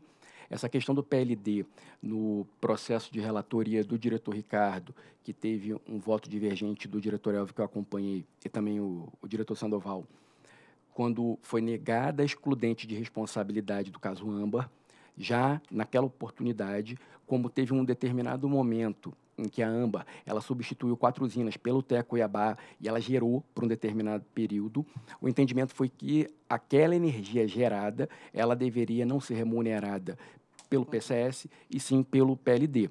Então, eu acredito que mais adiante, em relação a essa usina, também nós teremos que verificar é, qual que é o contorno fático do tratamento que vai ser dado. Por quê? No caso da AMBA, ela não entrou em operação comercial. Essa usina, ela de modo faseado, algumas UGs foram entrando em operação comercial. Ela tem que apreciar o pedido de excludente de responsabilidade, o que, em caso de acolhimento, faz com que você desloque os marcos temporais, fazendo com que, eventualmente, ela esteja apta a ser entendida como entra, entrou em operação comercial. Mas ainda assim também tem um ponto que eu falei aqui de para fins de entrada em operação comercial, a, a, princípio teria que verificar a entrada em operação de todas os Gs. Então, mais adiante, nós vamos ter que enfrentar tudo isso em outro processo. Mas aí, nesse contexto, a gente entraria no mérito do PLD? Nesse daqui? N nesse daqui, não. Não, assim, não. Assim, porque assim, minha dúvida. Assim, vamos lá. É, se não, entendi que, que você colocou assim, que lá na frente, quando a gente for analisar o mérito, a depender das entradas das UGs e do excludente de responsabilidade, a gente tem que ver quem entrou, quem gerou. E aí, quem entrou, quem gerou, a priori remunerado pelo contrato, dentro, se Sim. entrou no prazo, né? Então, ali não eu entendo que não tem porque não teria muito porque a gente entrar nesse mérito do PLD. A minha dúvida é aqui se, é, se aqui existe, é valor do PCS. Isso, é porque é isso que estabelece o despacho. Só minha, é porque estava no contrato. O despacho falou assim, é tem que manter o que está no contrato, basicamente. É não, porque o, o, despacho garantiu à Barra Bonita de que ela não sofreria nenhuma penalidade. E à medida que as UGs foram entrando em operação, ela foi gerando energia, ela foi em, em, tese, porque ela não recebeu o valor, mas ela foi quantificando valores a receber no âmbito do PCS. Tanto que em agosto seria 179 mil reais, em setembro 2 milhões e meio, em outubro 3 milhões e 900, alcançando ao final de outubro a marca de 6,6 milhões de reais retidos. Tudo dentro de valores do PCS.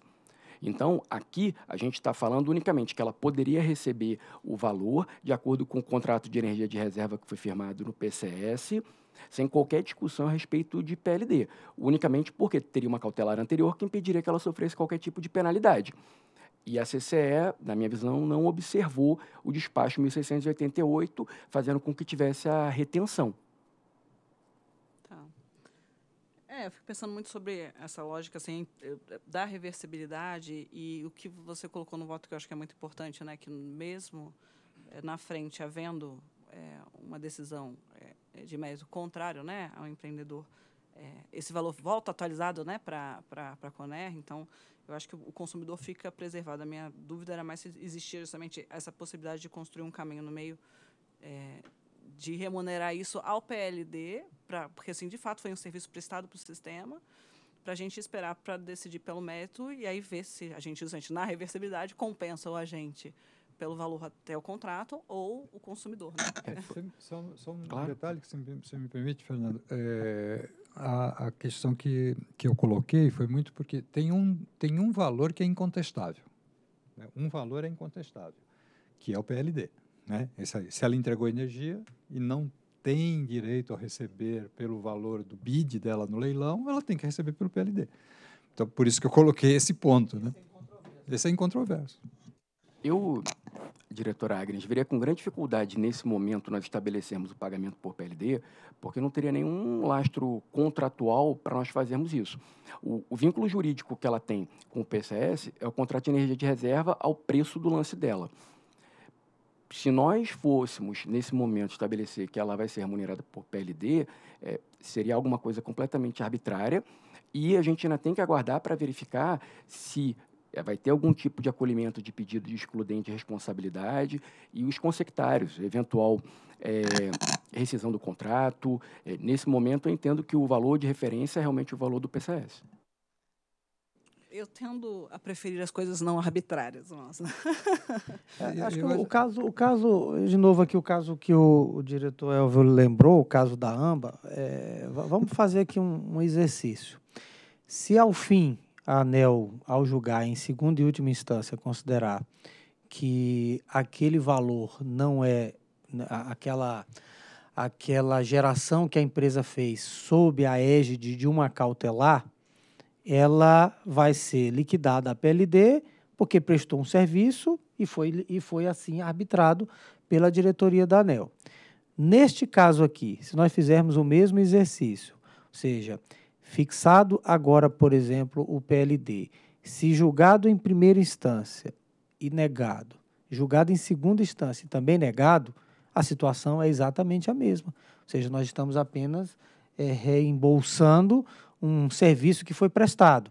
E, claro, sob o ponto de vista de decisão precária, na forma de uma cautelar, os dois casos se, se, se igualam. Né? E isso, claro, ao fim, se nós considerarmos ao fim que ele recebeu a cautelar e, e no julgado de mérito foi devido, paga-se a diferença. É, é, eu, só, eu só queria, assim, eu, embora eu tenha colocado, eu não quero polemizar com a questão do PLD, foi pra, só para lembrar que ele tem que receber ao, pelo que ele entregou, alguma coisa ele vai receber. É, mas aí, a, a, concordando com o diretor Fernando, eu acho que nós estaríamos inovando, né, porque aqui estamos de, decidindo quanto àquela cautelar que foi inicialmente é, concedida. Né? Não, eu também não quero tumultuar, assim, eu, eu achei a reflexão interessante é, gosto muito dessa preocupação de fato do que está no contrato, né, do que está nas regras e realmente a história do PLD não me pareceu e assim infelizmente eu não consegui realmente me aprofundar muito para ver é, o quanto isso seria uma alternativa e concordo plenamente com o diretor Sandoval. A diferença não é a solução, é só os valores, né? Então e aí eu pensei um pouco nisso porque você levantou, é era mais assim porque os montantes tendem a ser menores, né, para você praticar depois a reversibilidade. Mas é, também sou muito mais pela segurança jurídica. Então, feito esses comentários, eu submeto a proposta de voto para, para votação. Como tinha adiantado, eu acompanho o relator. Eu acompanho o voto do relator. Eu voto no sentido de não conhecer do pedido de medida cautelar interposto pela empresa Barra Bonita para é, não conhecer, na realidade não precisa nem citar o restante. Então eu voto, meu voto é no sentido do não conhecimento do pedido cautelar por não atender os critérios, é, aí eu vou ter que pegar aqui exatamente a, a redação, mas no ponto eu entendo que neste caso haveria sim um pedido de esclarecimento da decisão exarada, não um novo pedido cautelar. Mas aí eu relato aqui na ata os, os exatos termos da minha do meu voto. Próximo item, senhor secretário. Item 5, processo 48.500.0029.29.28.2019, dígito 32. Assunto: Resultado da consulta pública número 33 de 2022, instituída com vistas a colher subsídios e informações adicionais. É, desculpe, eu não proclamei o resultado, não é isso? Então, perfeito, desculpa, desculpa. É, só, só, só pedir aqui uma, uma, uma, só fazer uma retificação. Então, eu voto no sentido de não conhecer do pedido de cautelar por não estarem preenchidos os requisitos para tal e proclamo que a diretoria da ANEL, por maioria, decidiu, por voto, quatro votos favoráveis e um voto contrário, conhecer do pedido de medida cautelar interposto pela empresa Barra Bonita Óleo e Gás Limitada para dar-lhe parcial provimento de modo a suspender eventuais penalidades por atraso na entrada em operação comercial da usina termoelétrica Barra Bonita 1 no âmbito da subcláusula 7.10 do contrato de energia de reserva 450 de 2021, incluindo suspensão de penalidade de multa. Estou lendo aqui. De modo a não reter receitas de venda do contrato de energia de reserva 450 de 21, em virtude de eventuais penalidades por atraso na entrada em operação comercial da usina termoelétrica Barra Bonita 1, no âmbito da subcláusula 7.10 do contrato, até a primeira decisão administrativa da, de, da diretoria da ANEEL quanto à análise de excludente de responsabilidade pelo atraso na implantação da usina. Próximo item, senhor secretário. Item 5, processo 48.500.0029.28.2019, dígito 32. Assunto. Resultado da consulta pública número 33 de 2022, instituída com vistas a colher subsídios e informações adicionais para a avaliação de questões regulatórias associadas aos contratos de compartilhamento de instalações, CCI. Diretor relator, Fernando Mosna. Em 8 de dezembro de 2020, por meio da portaria número 6.606, foi aprovada a Agenda Regulatória 2021-2022, que traz em seu item 32 a atividade de regulação do compartilhamento de instalações de transmissão sob o código TRA 2122. Em 29 de abril de 2022, a ANEL promoveu o workshop Compartilhamento de Instalações de Transmissão com a participação de agentes do setor, ONS, APE e MME. Em 30 de junho de 2021, foi instaurada a tomada de subsídios número 12 de 2021, com vistas a obter subsídios para avaliar a necessidade de intervenção regulatória associada ao compartilhamento de instalações de transmissão na modalidade de intercâmbio de documentos, cujas contribuições aconteceram entre 30 de junho e 13 de agosto de 2021. Em 10 de junho de 2022, por meio da nota técnica 46 de 2022 da SRT, SCT, SFE, foi elaborada a proposta de aprimoramento normativo associado ao compartilhamento de instalações de transmissão. Em 21 de junho de 2022, na 22ª reunião pública ordinária, a diretoria decidiu instaurar a consulta pública número 33 de 2022, no período de 22 de junho a 5 de agosto de 2022. Na sessão de sorteio público realizada no dia 22 de agosto de 2022, o processo foi a mim distribuído. Em 1 de dezembro de 2022, por meio da nota técnica 101 de 2022, da SRT, SCT e SFE da ANEL, foi apresentada a análise das contribuições recebidas na consulta pública e proposta definitiva das mudanças a serem feitas nos módulos 1 e 3 dos procedimentos de rede. É o relatório. É, Procuradoria. Senhores diretores, a Procuradoria não tem considerações jurídicas a fazer no assunto eu pedi que fosse disponibilizada e vai ser apresentada uma apresentação técnica, vai ser feita pelo Paulo, Paulo Roberto Fernandes Souza, técnico da SRT, e o Paulo é um funcionário da Infraero que foi cedido para a agência. Se apresenta para a gente, Paulo, por favor, os contornos da consulta pública.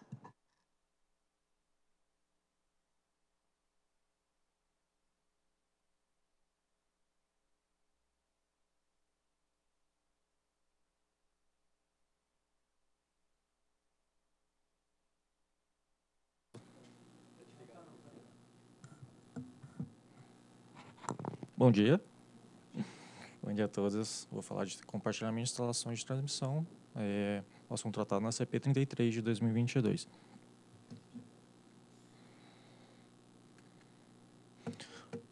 Foi um tópico da agenda regulatória da SRT de 2021-2022. Além da ST, foram envolvidas as, a SRM, SGT, ST, SFE e SFF, com destaque aqui a participação da ST e SFE. Tivemos algumas reuniões externas envolvendo a BRAT, Ministério, EPE, ONS. Também tivemos várias reuniões internas tratando do assunto, uma tomada de subsídios, workshop com esses agentes e a consulta pública 33 de 2022. Por esse gráfico podemos ver a evolução da de quantidade de transmissoras de usuários da rede básica. É, desde 2020, quando tínhamos 11 transmissoras apenas e 42 usuários da rede básica. Em 2010 saltou para 73 transmissoras e 201 usuários da rede básica. É, em 2021 já tínhamos 262 transmissoras e mais de mil usuários da rede básica, sendo que contratos de concessões de transmissão no SIM já são mais de 347. E isso reflete né, a grande ampliação do SIM nos últimos 20 anos. Que podemos visualizar aqui dentro de uma subestação essa aqui é uma subestação existente em Lusiânia, aqui próximo em Goiás, é, que muitos anos atrás só tinha uma transmissora, que era a Serra da Mesa, representada por T1 aqui no diagrama de Felar, e, e hoje ela compartilha essas instalações com mais cinco transmissoras. E também temos aqui, podemos visualizar aqui uma distribuidora também que tem que é um acessante da, da, da transmissora 5 aqui. E isso, essa a convivência aqui só é possível através do contrato de compartilhamento de instalações de transmissão. O que vem a ser esse contrato? Ele é um contrato a ser celebrado entre duas ou mais transmissoras, estabelecendo os procedimentos, direitos e responsabilidades para o uso compartilhado das instalações de transmissão. O problema relatório encontrado é que os dispositivos estavam esparsos em contrato de concessão, procedimentos de redes e resoluções normativas, e o objetivo regulatório foi de estabelecer uma regulamentação concisa e clara que reúne os comandos regulatórios necessários para definir direitos, deveres e responsabilidades das transmissoras no compartilhamento e conexão às instalações de transmissão. Tivemos tomado subsídio com sete subtemas e 31 questões. É, um dos subtemas era a disposição dos comandos regulatórios, se estavam adequados ou não. É, a obrigatoriedade e do prazo para a aprovação do CCI. Estamos trazendo nesse, para esse item é, na proposta aqui obrigatoriedade e também um prazo de nove meses que já já era estabelecido no contrato de concessão e que foi adequado, né, que foi considerado adequado pelos participantes. Com o tema compartilhamento múltiplos, estudando, estudamos a possibilidade de ter um representante, né, uma, uma espécie de uma transmissora que seria uma espécie de, de síndica, né, na subestação, só que isso, essa, essa ter uma única transmissora, né, poderia acatar um efeito monopolista, também dificuldades de padronização do FT. Também percebemos que a maioria das divergências nesse com relação a esse compartilhamento múltiplo era resolvido entre as próximas, próprias transmissoras. Só chegou três casos para a SRT que puderam ter ser resolvidos antes da assinatura dos contratos sem atraso. Então a gente entendeu que não era um problema e a nossa proposta foi apenas de consolidação e com esclarecimentos em assuntos que eram mais discutidos, por exemplo, equipamentos e reservas remunerados. Com relação ao assunto de limitações de compartilhamento e das responsabilidades, é, quais ativos deveriam não ser compartilhados, a gente entendeu que não era adequado listar o que poderia ser ou não compartilhado. Então, estamos trazendo apenas consolidação mesmo, esclarecimentos. Outros dois assuntos que trata de valores de ressarcimento com relação à conexão entre transmissora entre transmissoras e o ONS como interveniente, esses dois assuntos, eles também foram tratados na CP13 de 2020, que tratava da consolidação do módulo 5 das regras de transmissão. E nessa CP foi decidido que esses assuntos deveriam ser que são assuntos mais complexos que deveriam ser estudados de forma mais abrangente com a sociedade. Por esse motivo, ficou para as próximas agendas regulatórias da SRT. Com relação à consulta pública 33 de 2020, tiveram 18 participantes, maioria transmissora, 9, três associações setoriais, a BIDIB, a BRAT a DTE, participação da ONS também, da EPE e de outros, incluindo distribuidoras, gerador.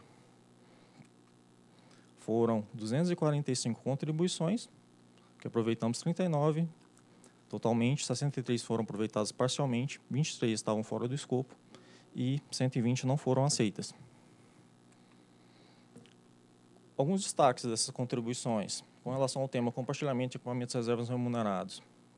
Uma das contribuições foi no sentido de que equipamentos somente deveriam ser compartilhados quando houver acordo entre as partes. Estamos atendendo parcialmente esse, esse, esse pleito, no sentido que no, no item que, que lista o que deve conter no CCI, é, está falando que esse compartilhamento não pode nem deve prejudicar nem atrasar a, o atendimento das necessidades do SIM. Relação ao, à contribuição de compartilhamento, carece de sentidos regulatórios. Entendemos que não, porque é, já temos a PV, no caso, que já é um incentivo regulatório suficiente, que o desconto de, de, de receita já é proporcional ao período em que um equipamento fica indisponível. Com relação ao tema ressarcimentos em conexão de transmissor, com relação a valores, está fora do escopo. E a contribuição de adequações ao item 2.1 para atender a resolução 67 de 2004. Com relação a esse item, em um outro, a gente já verificamos que, que houve realmente um erro material na consolidação do módulo 3 da de transmissão, que está sendo tratado em um outro processo, e que esse e já, já está sendo resolvido esse caso. Por isso que estamos aceitando. Com relação ao tema do ONS como interveniente no CCI, também está fora do escopo. É, destaco aqui que apenas o ONS manifestou contrário, as outras contribuições foram no sentido de que era necessário manter a interveniência do ONS. Outras contribuições, é, avaliação de risco atrelados ao compartilhamento, possibilidade negativa. Estamos atendendo aqui, de modo que o compartilhamento deve atender a Resolução 797 de 2017 e resoluções posteriores. É, outra contribuição de incluir conceitos de compartilhamento em transmissoras e usuários sistemas está fora do escopo, porque quando se trata de usuários de sistemas, aqui, por exemplo, distribuidoras, transmissoras, é feito por, pelo contrato CCT, que é diferente do, do contrato CCI, que é feito apenas entre transmissoras. E, por último, incluir itens sobressalentes de atividade de manutenção e operação nessas instalações. Né? Nessas instalações. Parcialmente aceita, com a correção do erro material da Resolução 67 de 2004, estamos atendendo também esse item. O processo foi tratado como rito simplificado, pois a proposta de regulamentação trata de consolidação e esclarecimento dos comandos hoje existentes, portanto, ela não implica em aumento de custos para os entes econômicos envolvidos e nem repercussão políticas, da, repercussão das políticas públicas setoriais. Também é um ato normativo de baixo impacto, né, que atende às condições previstas no artigo 2 da NO 40, da Resolução 941 de 2021, e também atende ao artigo 7 dessa resolução para dispensa de AIR. Por, por fim, né, a recomendação das áreas técnicas é de deliberação da diretoria recomendando a emissão da resolução normativa acerca do compartilhamento de instalações de transmissão. É isso, obrigado. Vai direto para o dispositivo, por favor.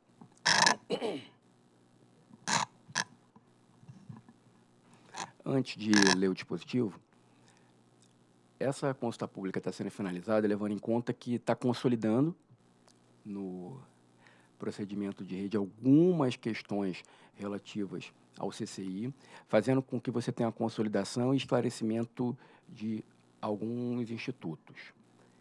Diante do exposto do que consta do processo número 48.500.002928-2019-32, voto pela emissão de resolução normativa acerca do compartilhamento de instalações de transmissão e da conexão de transmissoras a instalações existentes, minuta anexa, para alterar, alterar o módulo 1, glossário, anexo 3, e o módulo 3, instalações e equipamentos, anexo 4 das regras de transmissão. Em discussão a matéria. Bem, parabenizar o diretor Fernando pela proposta de voto E, e aí também esse assunto, eh, Fernando, era um assunto que a gente viveu muito aqui na área de fiscalização, na área de regulação, e sempre essa, esse anseio por parte de alguns agentes para que a ANEL fizesse uma regulação exaustiva sobre o tema. Eu não, nunca tive a oportunidade de me adentrar é, e tinha até uma percepção que talvez fosse necessário. Mas a reunião técnica conduzida é, por você e muito bem, muito bem delimitada pela SRT na época me convenceu que o caminho realmente é organizar a quantidade de disposições que nós já temos isso nos contratos, na, em algumas resoluções da ANEL, procedimentos de rede e resoluções normativas. Então, nós já temos um, um, vamos dizer assim, um framework regulatório que trata esse tema sem a necessidade de criação de mais um outro, é, é, nenhum, nenhuma regra excessivamente exaustiva. Então, o que nós temos também são poucos conflitos, e aí quando a gente lembra dos 363 agentes, desculpe, 363 contratos de concessão de transmissão que nós temos hoje.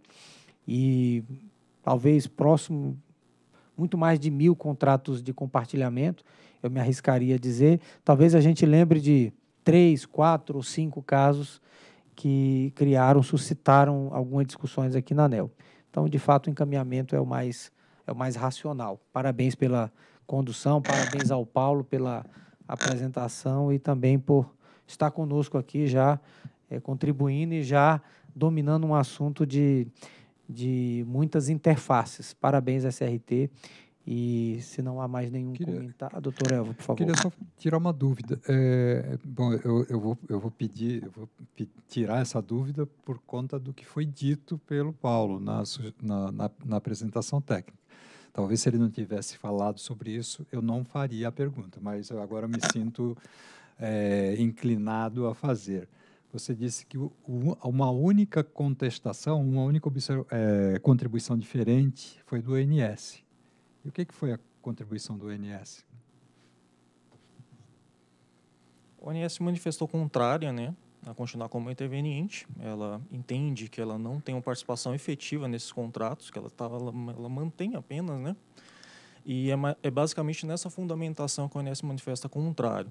Entretanto, né, como eu mencionei, a maioria das transmissoras entende que, o, que a permanência do INSS é importante porque eles acreditam com, com, ela estando no contrato, esses contratos atendem os procedimentos de rede e, de, de uma forma geral, eles se sentem mais respaldados. Esse tema não foi abordado nessa consulta pública, né, como foi decidido na CP13 de 2020, vai ficar para umas próximas agendas regulatórias. Todas as contribuições nesse sentido estavam fora do escopo. Os advogados costumam dizer que você só deve dizer aquilo que foi perguntado, né? Porque aqui, então, foi extrapolou e acabou me levando a fazer a pergunta. É, no, eu, eu até acho que poderia até discutir aqui sobre essa questão da interveniência ou não, mas, de qualquer forma, não é o caso. Eu acho que esse ponto, só para fazer aqui uma observação, eu não tenho aqui especificamente o, até tentei rapidamente buscar aqui as competências do ONS para citar formalmente, mas uma delas é a administração da, da do sistema do, do, sistema interligado nacional. Então isso passa necessariamente pela gestão de dessas relações entre os agentes também. Tá? Apesar de que o CCI, salvo e aí eu também vou fazer essa pergunta é, para o, de repente para o Paulo ou para o, para o Leonardo, esses contratos, eles são, é, o ONS é parte interveniente e ele administra esses contratos, armazena e tudo. Então, perfeito. Então, acho que é isso mesmo. É, em votação a matéria. Voto com o relator. Eu acompanho o relator. Eu acompanho o voto do relator. Também acompanho a proposta de voto do eminente relator e proclamo que a diretoria da ANEL decidiu, decidiu por unanimidade é, pela emissão de resolução normativa acerca do compartilhamento de instalações de transmissão e da conexão de transmissoras a instalações existentes, conforme minuta anexa, para alterar o módulo 1, glossário, anexo 3 e o módulo 3, instalações e equipamentos, anexo 4 das regras de transmissão. Próximo item. Item 6, processo 48.500.005495, 2022 de 72. Assunto: aprovação da agenda regulatória 2023-2024, após análise das contribuições recebidas na audiência pública número 14 de 2022. Diretor relator Sandoval Feitosa.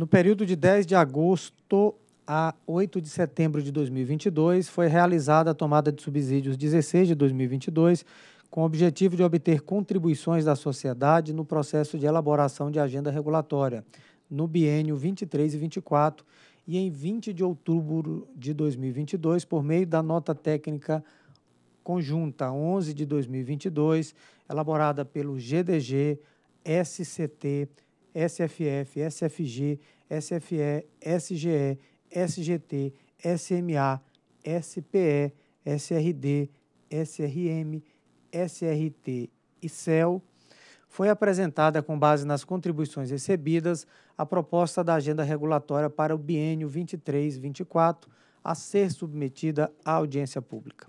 A audiência pública 14 de 2022 eh, de 4 de novembro, discutiu com a sociedade brasileira a proposta da agenda regulatória para o biênio 23-24. Com base na tomada de subsídios e na análise pública citadas, as unidades envolvidas encaminharam a nota técnica 14 de 2022, conjunta, envolvendo CTREG, GDG, SFE, SGT, SPE SRD, SRG, SRM e SRT, de 1 de dezembro de 22, apresentando a proposta final da agenda regulatória para o biênio 23-24, a ser considerado no plano de gestão da ANEL para o ano de 2023. Este é o relatório. Procuradoria. Senhores diretores, sem considerações jurídicas, apenas gostaria de registrar mais uma vez o nível de excelência que chega à Agência Nacional de Energia Elétrica por é, divulgar mais uma agenda regulatória, o que confere absoluta previsibilidade e se alinha às melhores práticas internacionais. Perfeito. Muito obrigado, senhor procurador. Bem, senhores diretores, essa proposta que nós aqui trazemos, ela fundamentalmente é a proposta que está sendo apresentada. É, será feita uma apresentação técnica a ser feita pela doutora Elvira, tá? Doutora Elvira, por favor. E tão logo seja concluída, nós faremos alguns comentários a respeito da agenda regulatória. Bom dia a todos. É, Bem-vinda, diretora Agnes. Bom, a gente vai apresentar aqui o resultado, né, a conclusão da agenda, é, da proposta de agenda regulatória. Vou retomar esse, esse slide aqui, que mostra é, o, como foi conduzido o trabalho até então. Então, desde junho, a gente trabalha nesses temas, foi, foram consolidados os temas estratégicos. Em agosto, foi realizada a tomada de subsídios, foi a primeira é, participação pública. E, é, e aí, nessa participação pública, é, a gente teve, recebeu muitas contribuições, 397, de 31 entidades. Depois, com a análise dessa tomada de subsídios, foi, foi proposta minuta de, uma nova minuta de agenda, uma versão de atividades, e, e aí foi realizada uma audiência pública, que já é para um. Ela, ela é, o objetivo é fazer alguns ajustes finos e, e, mostra, e, é, e receber contribuições em cima das atividades já é, é, estabelecidas anteriormente. E aí, nessa, consulta, nessa audiência pública, foram eh, recebemos 79 é, contribuições de 12 entidades do setor. E hoje a gente traz ela, é, essa minuta é, consolidada para aprovação. É, é, importante lembrar que essa aprovação, é, essa agenda, ela pode ser revista ao longo do ano e com, com motivações e a gente tem espaço para eventuais ajustes, se for necessário. Então, aqui os norteadores da agenda foram foi mantida a metodologia de construção, mas a inovação é que foram enquadradas as atividades em temas estratégicos e foi eliminada a classificação de atividade prioritária, ordinária e indicativa. Todas as atividades que estão na agenda, elas são estratégicas e são prioritárias. É, as alterações que tivemos depois da audiência pública foram a exclusão de uma atividade da TRV 2306, que é executar o plano de trabalho das atividades para transição energética e modernização no segmento de distribuição. A retirada foi proposta pela própria SRD e porque ela, a área concluiu que essa atividade ela é de natureza administrativa, é estabelecimento do, do, do plano. Então, o produto final vai ser uma portaria, não vai ser um ato normativo, por isso foi retirado. É, foi alterado também o cronograma de uma atividade da DPID, PIE 2201, que é a regulamentação do Programa de Energia Renovável Social. É, esse, o cronograma ele foi antecipado um semestre.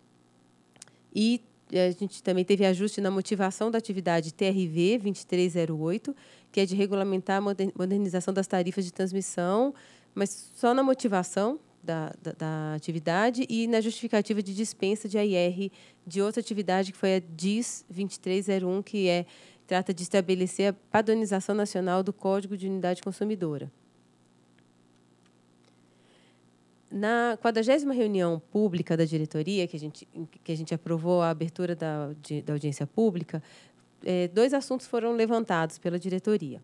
Um deles era a necessidade, a importância de uma maior comunicação de, para demonstrar a integração e articulação entre as atividades. E, em relação a isso, a gente é, em resposta a essa demanda, a gente reorganizou as atividades, não mais por segmentos G, T e D, e sim por temas estratégicos. E também é, deixamos muito claro, tentamos mostrar com mais clareza, é que os temas são tratados de forma conjunta e articulada nos eixos, né, nos seus diversos eixos. Um exemplo é a modernização da distribuição.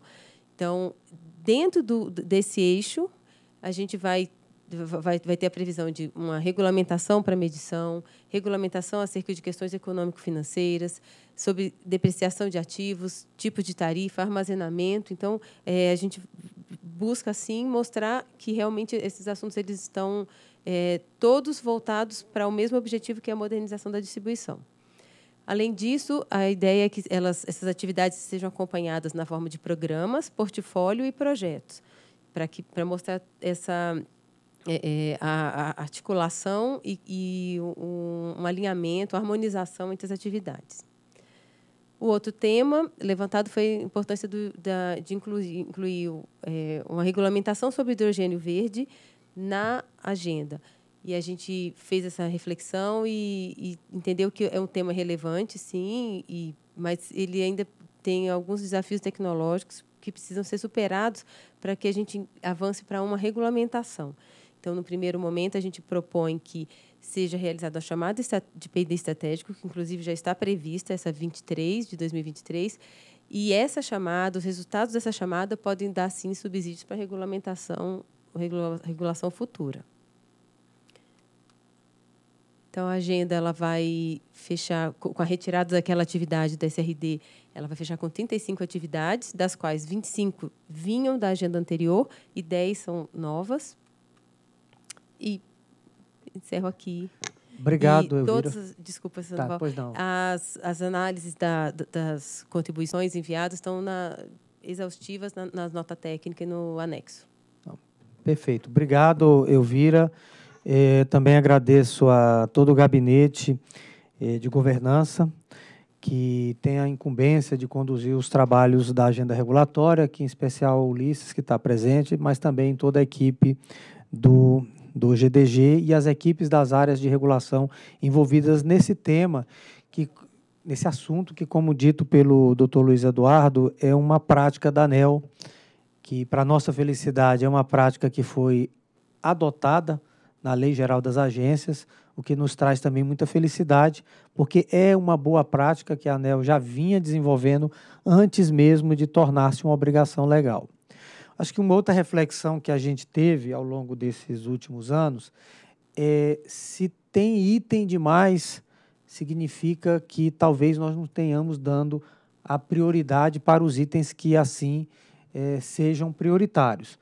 Razão pela qual as áreas se debruçaram naqueles temas que nós aqueles temas que vão realmente mudar o, o, o setor. São aquele, aqueles temas que vão fazer acontecer, vão é, dar um sinal para a, a, o comportamento dos agentes, comportamento do mercado, a indústria de uma forma geral. Então, como a doutora Elvira falou, esses temas eles não são fechados em si mesmo, como todos sabem, a, a mudança do setor elétrico ela está em ebulição, Está tá se discutindo abertura de mercado, eh, novos serviços a serem explorados pela distribuidora, o papel da distribuidora em ser, eh, executar apenas atividades de fio integradora de novos serviços, mas nada disso ainda, em que pese estar, usando a expressão popular, na boca do povo, ainda não virou uma. uma, uma ainda não virou realidade do ponto de vista de alteração legislativa ou até mesmo articulações com o poder concedente. E razão pela qual nós fizemos o limite do possível na agenda regulatória, considerando também, nós não podemos nos afastar da realidade que a agência possui. A agência está hoje com praticamente 25% a menos do seu quadro. Temos muitos desafios, mas nós temos que partir do limite do possível. Tá? E também destacar que é, a, atrelado à agenda regulatória, na realidade é o contrário, a agenda regulatória está atrelado ao PGA, que é uma obrigação legal que nós temos de encaminhar todas as atividades a serem executadas no ano de 2023. E desde o início aqui da, da nossa gestão, eu tenho participado aos diretores e às equipes técnicas, de uma forma geral, a necessidade de nós caminharmos com um planejamento estruturado, sob bases seguras e também factíveis.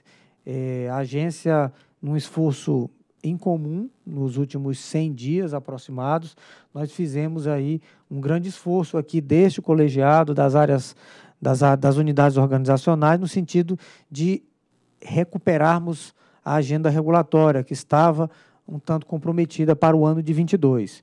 Então, com os ensinamentos que tivemos na discussão da agenda 22, nós trouxemos para a, o biênio 23-24, não obstante, está aí para serem alterados no sentido eh, que nós entendemos necessário ao longo do, do exercício do ano de 2023/24.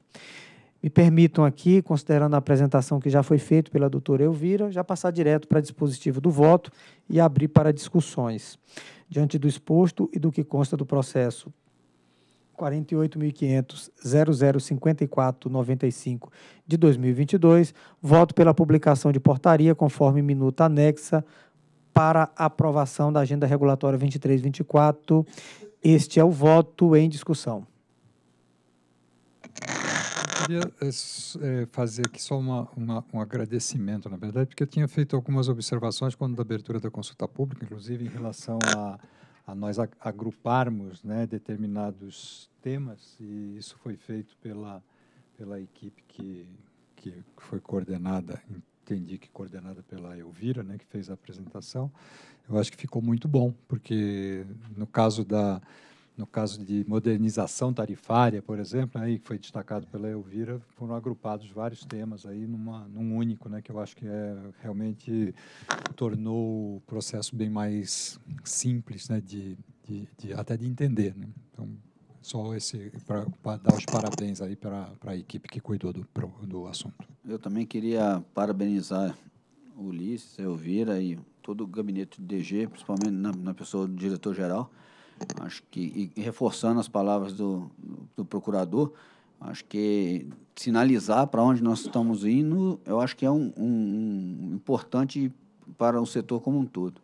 E aí, no mesmo, no mesmo diapasão do doutor Elvio, é, eu, eu fiz um destaque na, na abertura da CP, que era o hidrogênio verde. Eu vi que vai ter uma consulta pública é, sobre um PID, tudo. Sim, e, mas eu gostaria de reforçar o que eu disse lá atrás. A minha preocupação maior com o hidrogênio verde não é no produto final da indústria do hidrogênio verde, e sim que é uma indústria de eletrointensivo. Hoje, por exemplo, acabou de sair uma, uma matéria no canal Energia, que a Casa 200 e a Comerc Eficiência assinaram um contrato para uma, uma, uma, fábrica de 2,4 gigawatts de, de, de, de eletrólise instalado. Então, assim, é um consumidor muito grande.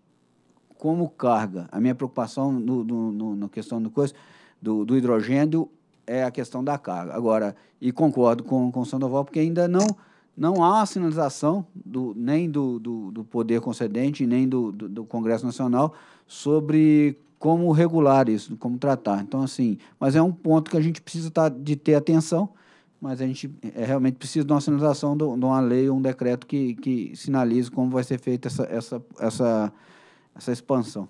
É. Diretor Sandoval, e também Elvira, parabenizar pela apresentação. Eu acredito que o encaminhamento que está sendo dado ele é muito bom, porque racionaliza justamente o olhar que o regulador ele tem que dar em relação à prioridade. Eu me recordo, eu imagino que o diretor Tille, diretor Agnes fizeram algo similar, eu abri a agenda regulatória antes de tomar posse. Não dá para entender que ele tinha uma lógica de prioridade na medida em que tinha uma série de temas e que estavam em diversos estágios. Então, esse encaminhamento temático, fazendo com que, no final das contas, tenha um olhar bem específico em relação a qual que é a preocupação da agência reguladora, eu acredito que dá essa racionalidade e otimiza para a gente poder fazer com que o que está na agenda regulatória seja perseguido e alcançado.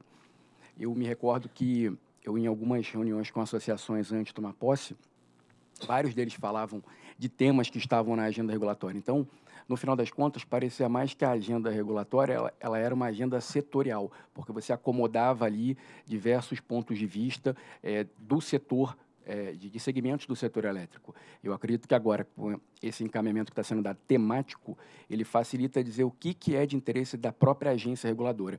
Então, parabenizar pelo voto do diretor Sandoval, dizendo que eu estou totalmente de acordo. É, bem, começando por esse último ponto, também acho super salutar esse agrupamento por temas, ajuda, que nem disse o Elvio, é, a entender a relação das questões que são tratadas aqui dentro.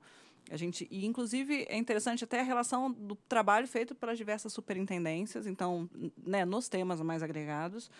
É, também é, eu fui por muitos anos usuária da agenda é, e eu vejo como ela é relevante para a gente é, alinhar expectativas, né, dar previsibilidade, mas até para que outros é, partícipes, né, nesse, desde a formação da política pública até os usuários, poderem também é, é, organizar seus movimentos relacionados a essas agendas. Então, isso é, isso é muito salutar. É, não consegui me debruçar, mas assim achei o trabalho muito interessante e fico feliz pela sua colocação de que no fundo a gente tem tempo, né, de ir ajustando e daqui a um ano a gente revisa de novo. Então assim acho que é, é de fato é um, é um é uma agenda de regulação muito viva, né? E, e, vai se acomodando às necessidades é, do setor, mas já traz essa lógica e isso que você falou, de, de mostrar o que, que a agência está olhando como prioritário. Então, acho isso muito salutar. E aí, só sobre hidrogênio verde, é, então, o Programa Nacional de Hidrogênio ele deve estar aprovando agora, essa semana, semana que vem, é, o plano de três anos das câmaras temáticas, um, e são, é, tem uma câmara temática que ela é sobre regulação. E por que eu estou trazendo isso aqui? Porque, de fato, não é um, tema daqui, mas, assim, entendo que a gente tem que acompanhar muito de perto essa discussão, porque o hidrogênio, ele é, é insumo, ele é produto, é, ele passa por várias indústrias. Então, nessa Câmara Temática, a gente tem várias agências reguladoras participando e discutindo, e tem representantes da ANEL lá, com certeza, também. É, mas para dizer que talvez não venha assim uma coisa muito de cima falando vai ser de um jeito ou de outro, porque tem muitos interesses afetados nessa agenda. Então acho que tem um trabalho nosso de acompanhar essa discussão. E aí apenas é até o que eu falei com o diretor Sandoval outro dia é que a gente tem que até olhar para é, chamar o hidrogênio de hidrogênio de baixo carbono e não hidrogênio verde, porque o hidrogênio verde ele é associado a uma rota tecnológica muito específica e com todas essas fontes de energia que a gente tem no Brasil, é, tem várias rotas que eventualmente podem ser e afetar né, o setor elétrico também. Então é isso, assim, parabenizo realmente pelo trabalho e eu, eu, também considero muito importante assim a forma que vocês estruturaram e estão apresentando a agenda. Ah, maravilha. Eu queria aqui apenas destacar que eh, atento às observações que foram feitas tanto pelo diretor Evo como pelo diretor Ricardo, a, a, a, o gabinete construiu essa proposta. E quando nós estávamos repassando o voto, eu disse assim: olha, eh, eu acho que aqui a gente tem possibilidades de fazer um grande engajamento da ANEL dentro de temas que são muito importantes. E vejam como é importante e relevante apenas a organi organizar diferente as informações. Porque, historicamente, aqui a gente tinha agência de, agenda de geração, aí colocava lá os itens que seriam afetos à geração. Transmissão, da mesma forma, distribuição, comercialização e sucessivamente. E agora não, nós estamos elencando um tema e todas as suas inter, os seus interrelacionamentos. E veja que eh, quando nós agora concluirmos a agenda, nós vamos internalizar isso aqui, vamos envolver as áreas e estressar. Olha, no tema modernização tarifária, eh, são todos esses itens? São. Então, agora vamos estruturar isso dentro de um, como foi falado, um programa um portfólio e um projeto. Então, o programa seria esse grande tema, modernização, por exemplo. Portfólio seria a e projeto a quantidade de projetos que atendem esse objetivo principal. Então, eu achei essa construção simplesmente maravilhosa, porque nós vamos ter agora mais um elemento de integração das unidades. Por quê? Porque a área vai ser medida não apenas pelo pedaço dele naquele grande pedaço da área naquele grande projeto, mas sim o resultado final do projeto. Então, esse é um ponto que eu queria realmente é, dizer da felicidade e, e construir com vocês esses grandes temas que nós já propusemos na agenda regulatória, mas juntamente com as reuniões que nós estamos fazendo com as lideranças, é, nós fazemos aqui, doutora Agni, reuniões mensais com as lideranças. E a reunião é por grupo setorial. Então, nós temos aquele grupo e nós fazemos as reuniões onde nós repassamos questões associadas à governança da agência. E esse tema, com certeza, vai ser muito importante. E com relação ao hidrogênio V, hidrogênio de baixo carbono, tá, a doutora Agnes está corretíssima. Nós já vamos fazer, corrigir. Ela já tinha me falado isso e acabou que eu não, não, não coloquei aí, no, não atualizei a apresentação. Mas, assim, a rota tecnológica que nós estamos é, perseguindo para essa, para essa nova vertente foi exatamente a mesma das outras, tanto a mobilidade como o armazenamento. Temos a necessidade de fazer um, uma, um amadurecimento na, nas discussões técnico-científicas da matéria para fazer a regulação. É claro que quando nós olhamos para trás, assim, fazemos um backtest, tanto a mobilidade como o armazenamento elas tiveram talvez uma, uma demora maior, tanto é que está na agenda regulatória a regulação do armazenamento agora. E nossa, é, se eu não me engano, a, a, o PD estratégico foi talvez 2016, 17, 18, algo assim. Mas como as coisas estão muito mais rápidas, acreditamos que a regulação da, da cadeia tecnológica do hidrogênio de baixo carbono deve ser um pouco mais acelerada. Mas Queria feito também isso. fazer uma observação, tá. também me alinhando a isso que você coloca e que a Agnes coloca, mas principalmente aqui o Ricardo é, Tilly, o diretor Ricardo, colocou. Eu acho que a questão do hidrogênio verde é algo que nós precisamos estar muito atentos a isso, obviamente, mas é, eu, eu também tenho uma preocupação, que é a mesma do diretor Ricardo, o, o, a produção de hidrogênio ela é, ela é intensiva em energia, e nós precisamos e nós temos uma a gente volta sempre a falar sobre subsídio, né? Então nós estamos a, a, a, o Brasil ele é olhado com muita atenção na produção de hidrogênio porque tem fontes renováveis em abundância e subsidiadas. E aí eu como que todos os temas acabam se intercala, intera, eh, eh, se interagindo, né, como todos são interligados. E eu, eu vejo a importância do subsidiômetro, né, porque tornamos claro a quantidade de subsídios que nós temos nas nossas contas de energia. Né? Então, e isso se relaciona diretamente, na minha percepção, com a visão que precisamos dar sobre a produção de hidrogênio, especialmente o chamado hidrogênio verde, né, que é a partir de fontes subsidiadas no Brasil.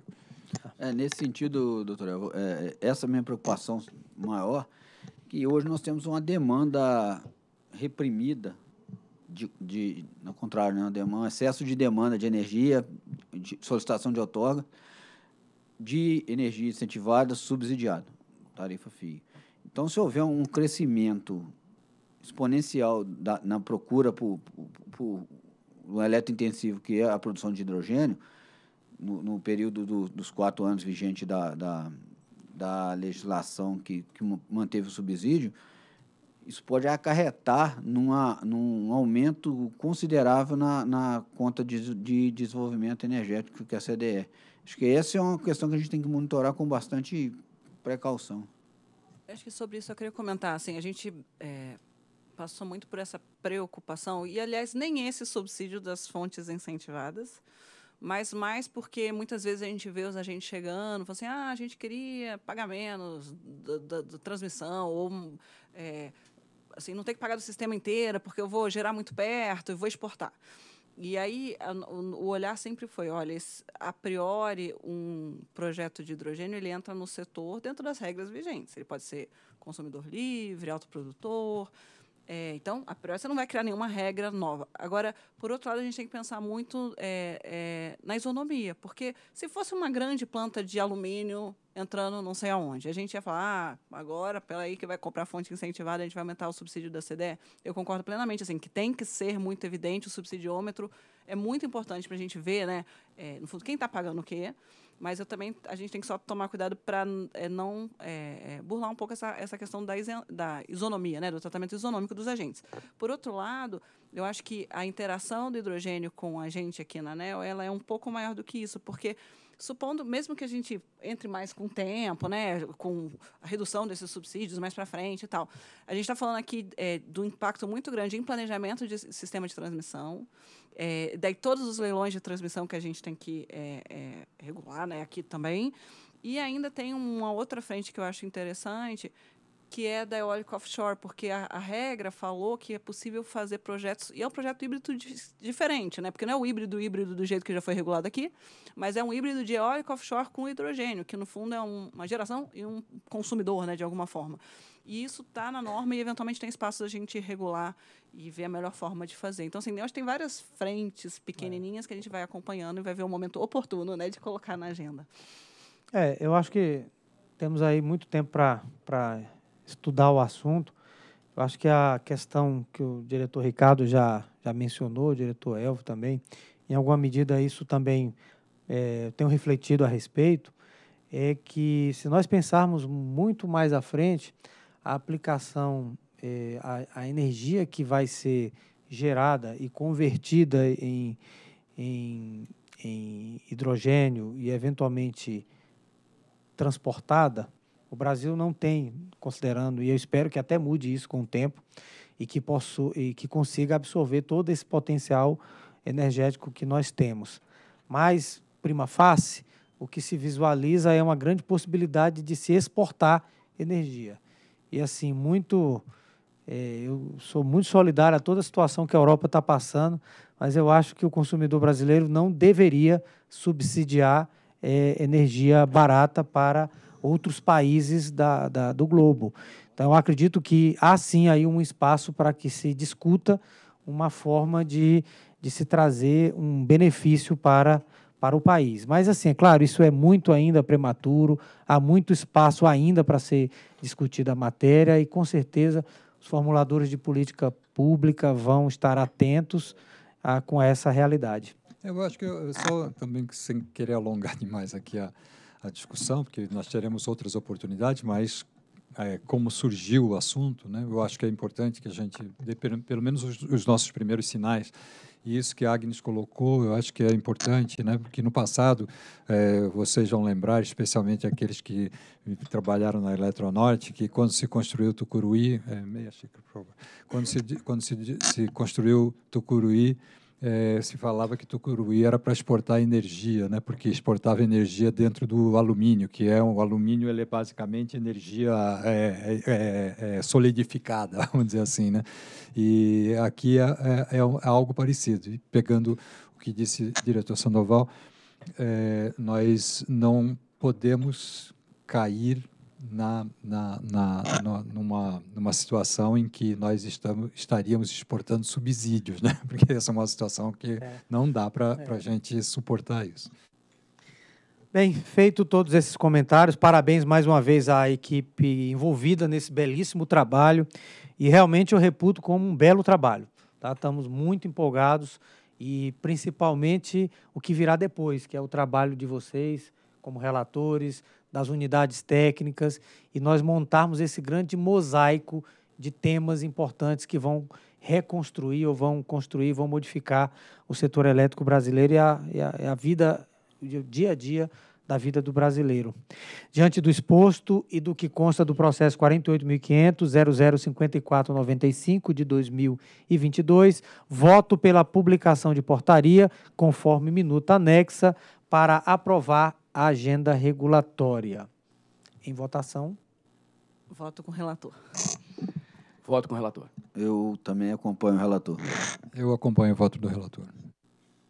Proclamo que a diretoria da ANEL, por unanimidade dos diretores, decidiu aprovar a publicação de portaria conforme minuta anexa para aprovar a agenda regulatória 23 e 24. Bem, senhores diretores, tem um pedido aqui do diretor Fernando para que nós é, suspendamos a reunião nesse momento e retornemos às 2h30, pode ser? Qual horário? Às 14? 14, 14 eu ia sugerir 14h45. Ah, eu sugeri 14, que a agenda ainda está um pouco puxada para a gente não sair muito tarde. 14h30. 14h30, então, por unanimidade aqui. Tá? Um forte abraço. Quando marca antes, não, não chega, vamos no 14h30 mesmo. Bom. Então, é, boa tarde a todos e bom almoço.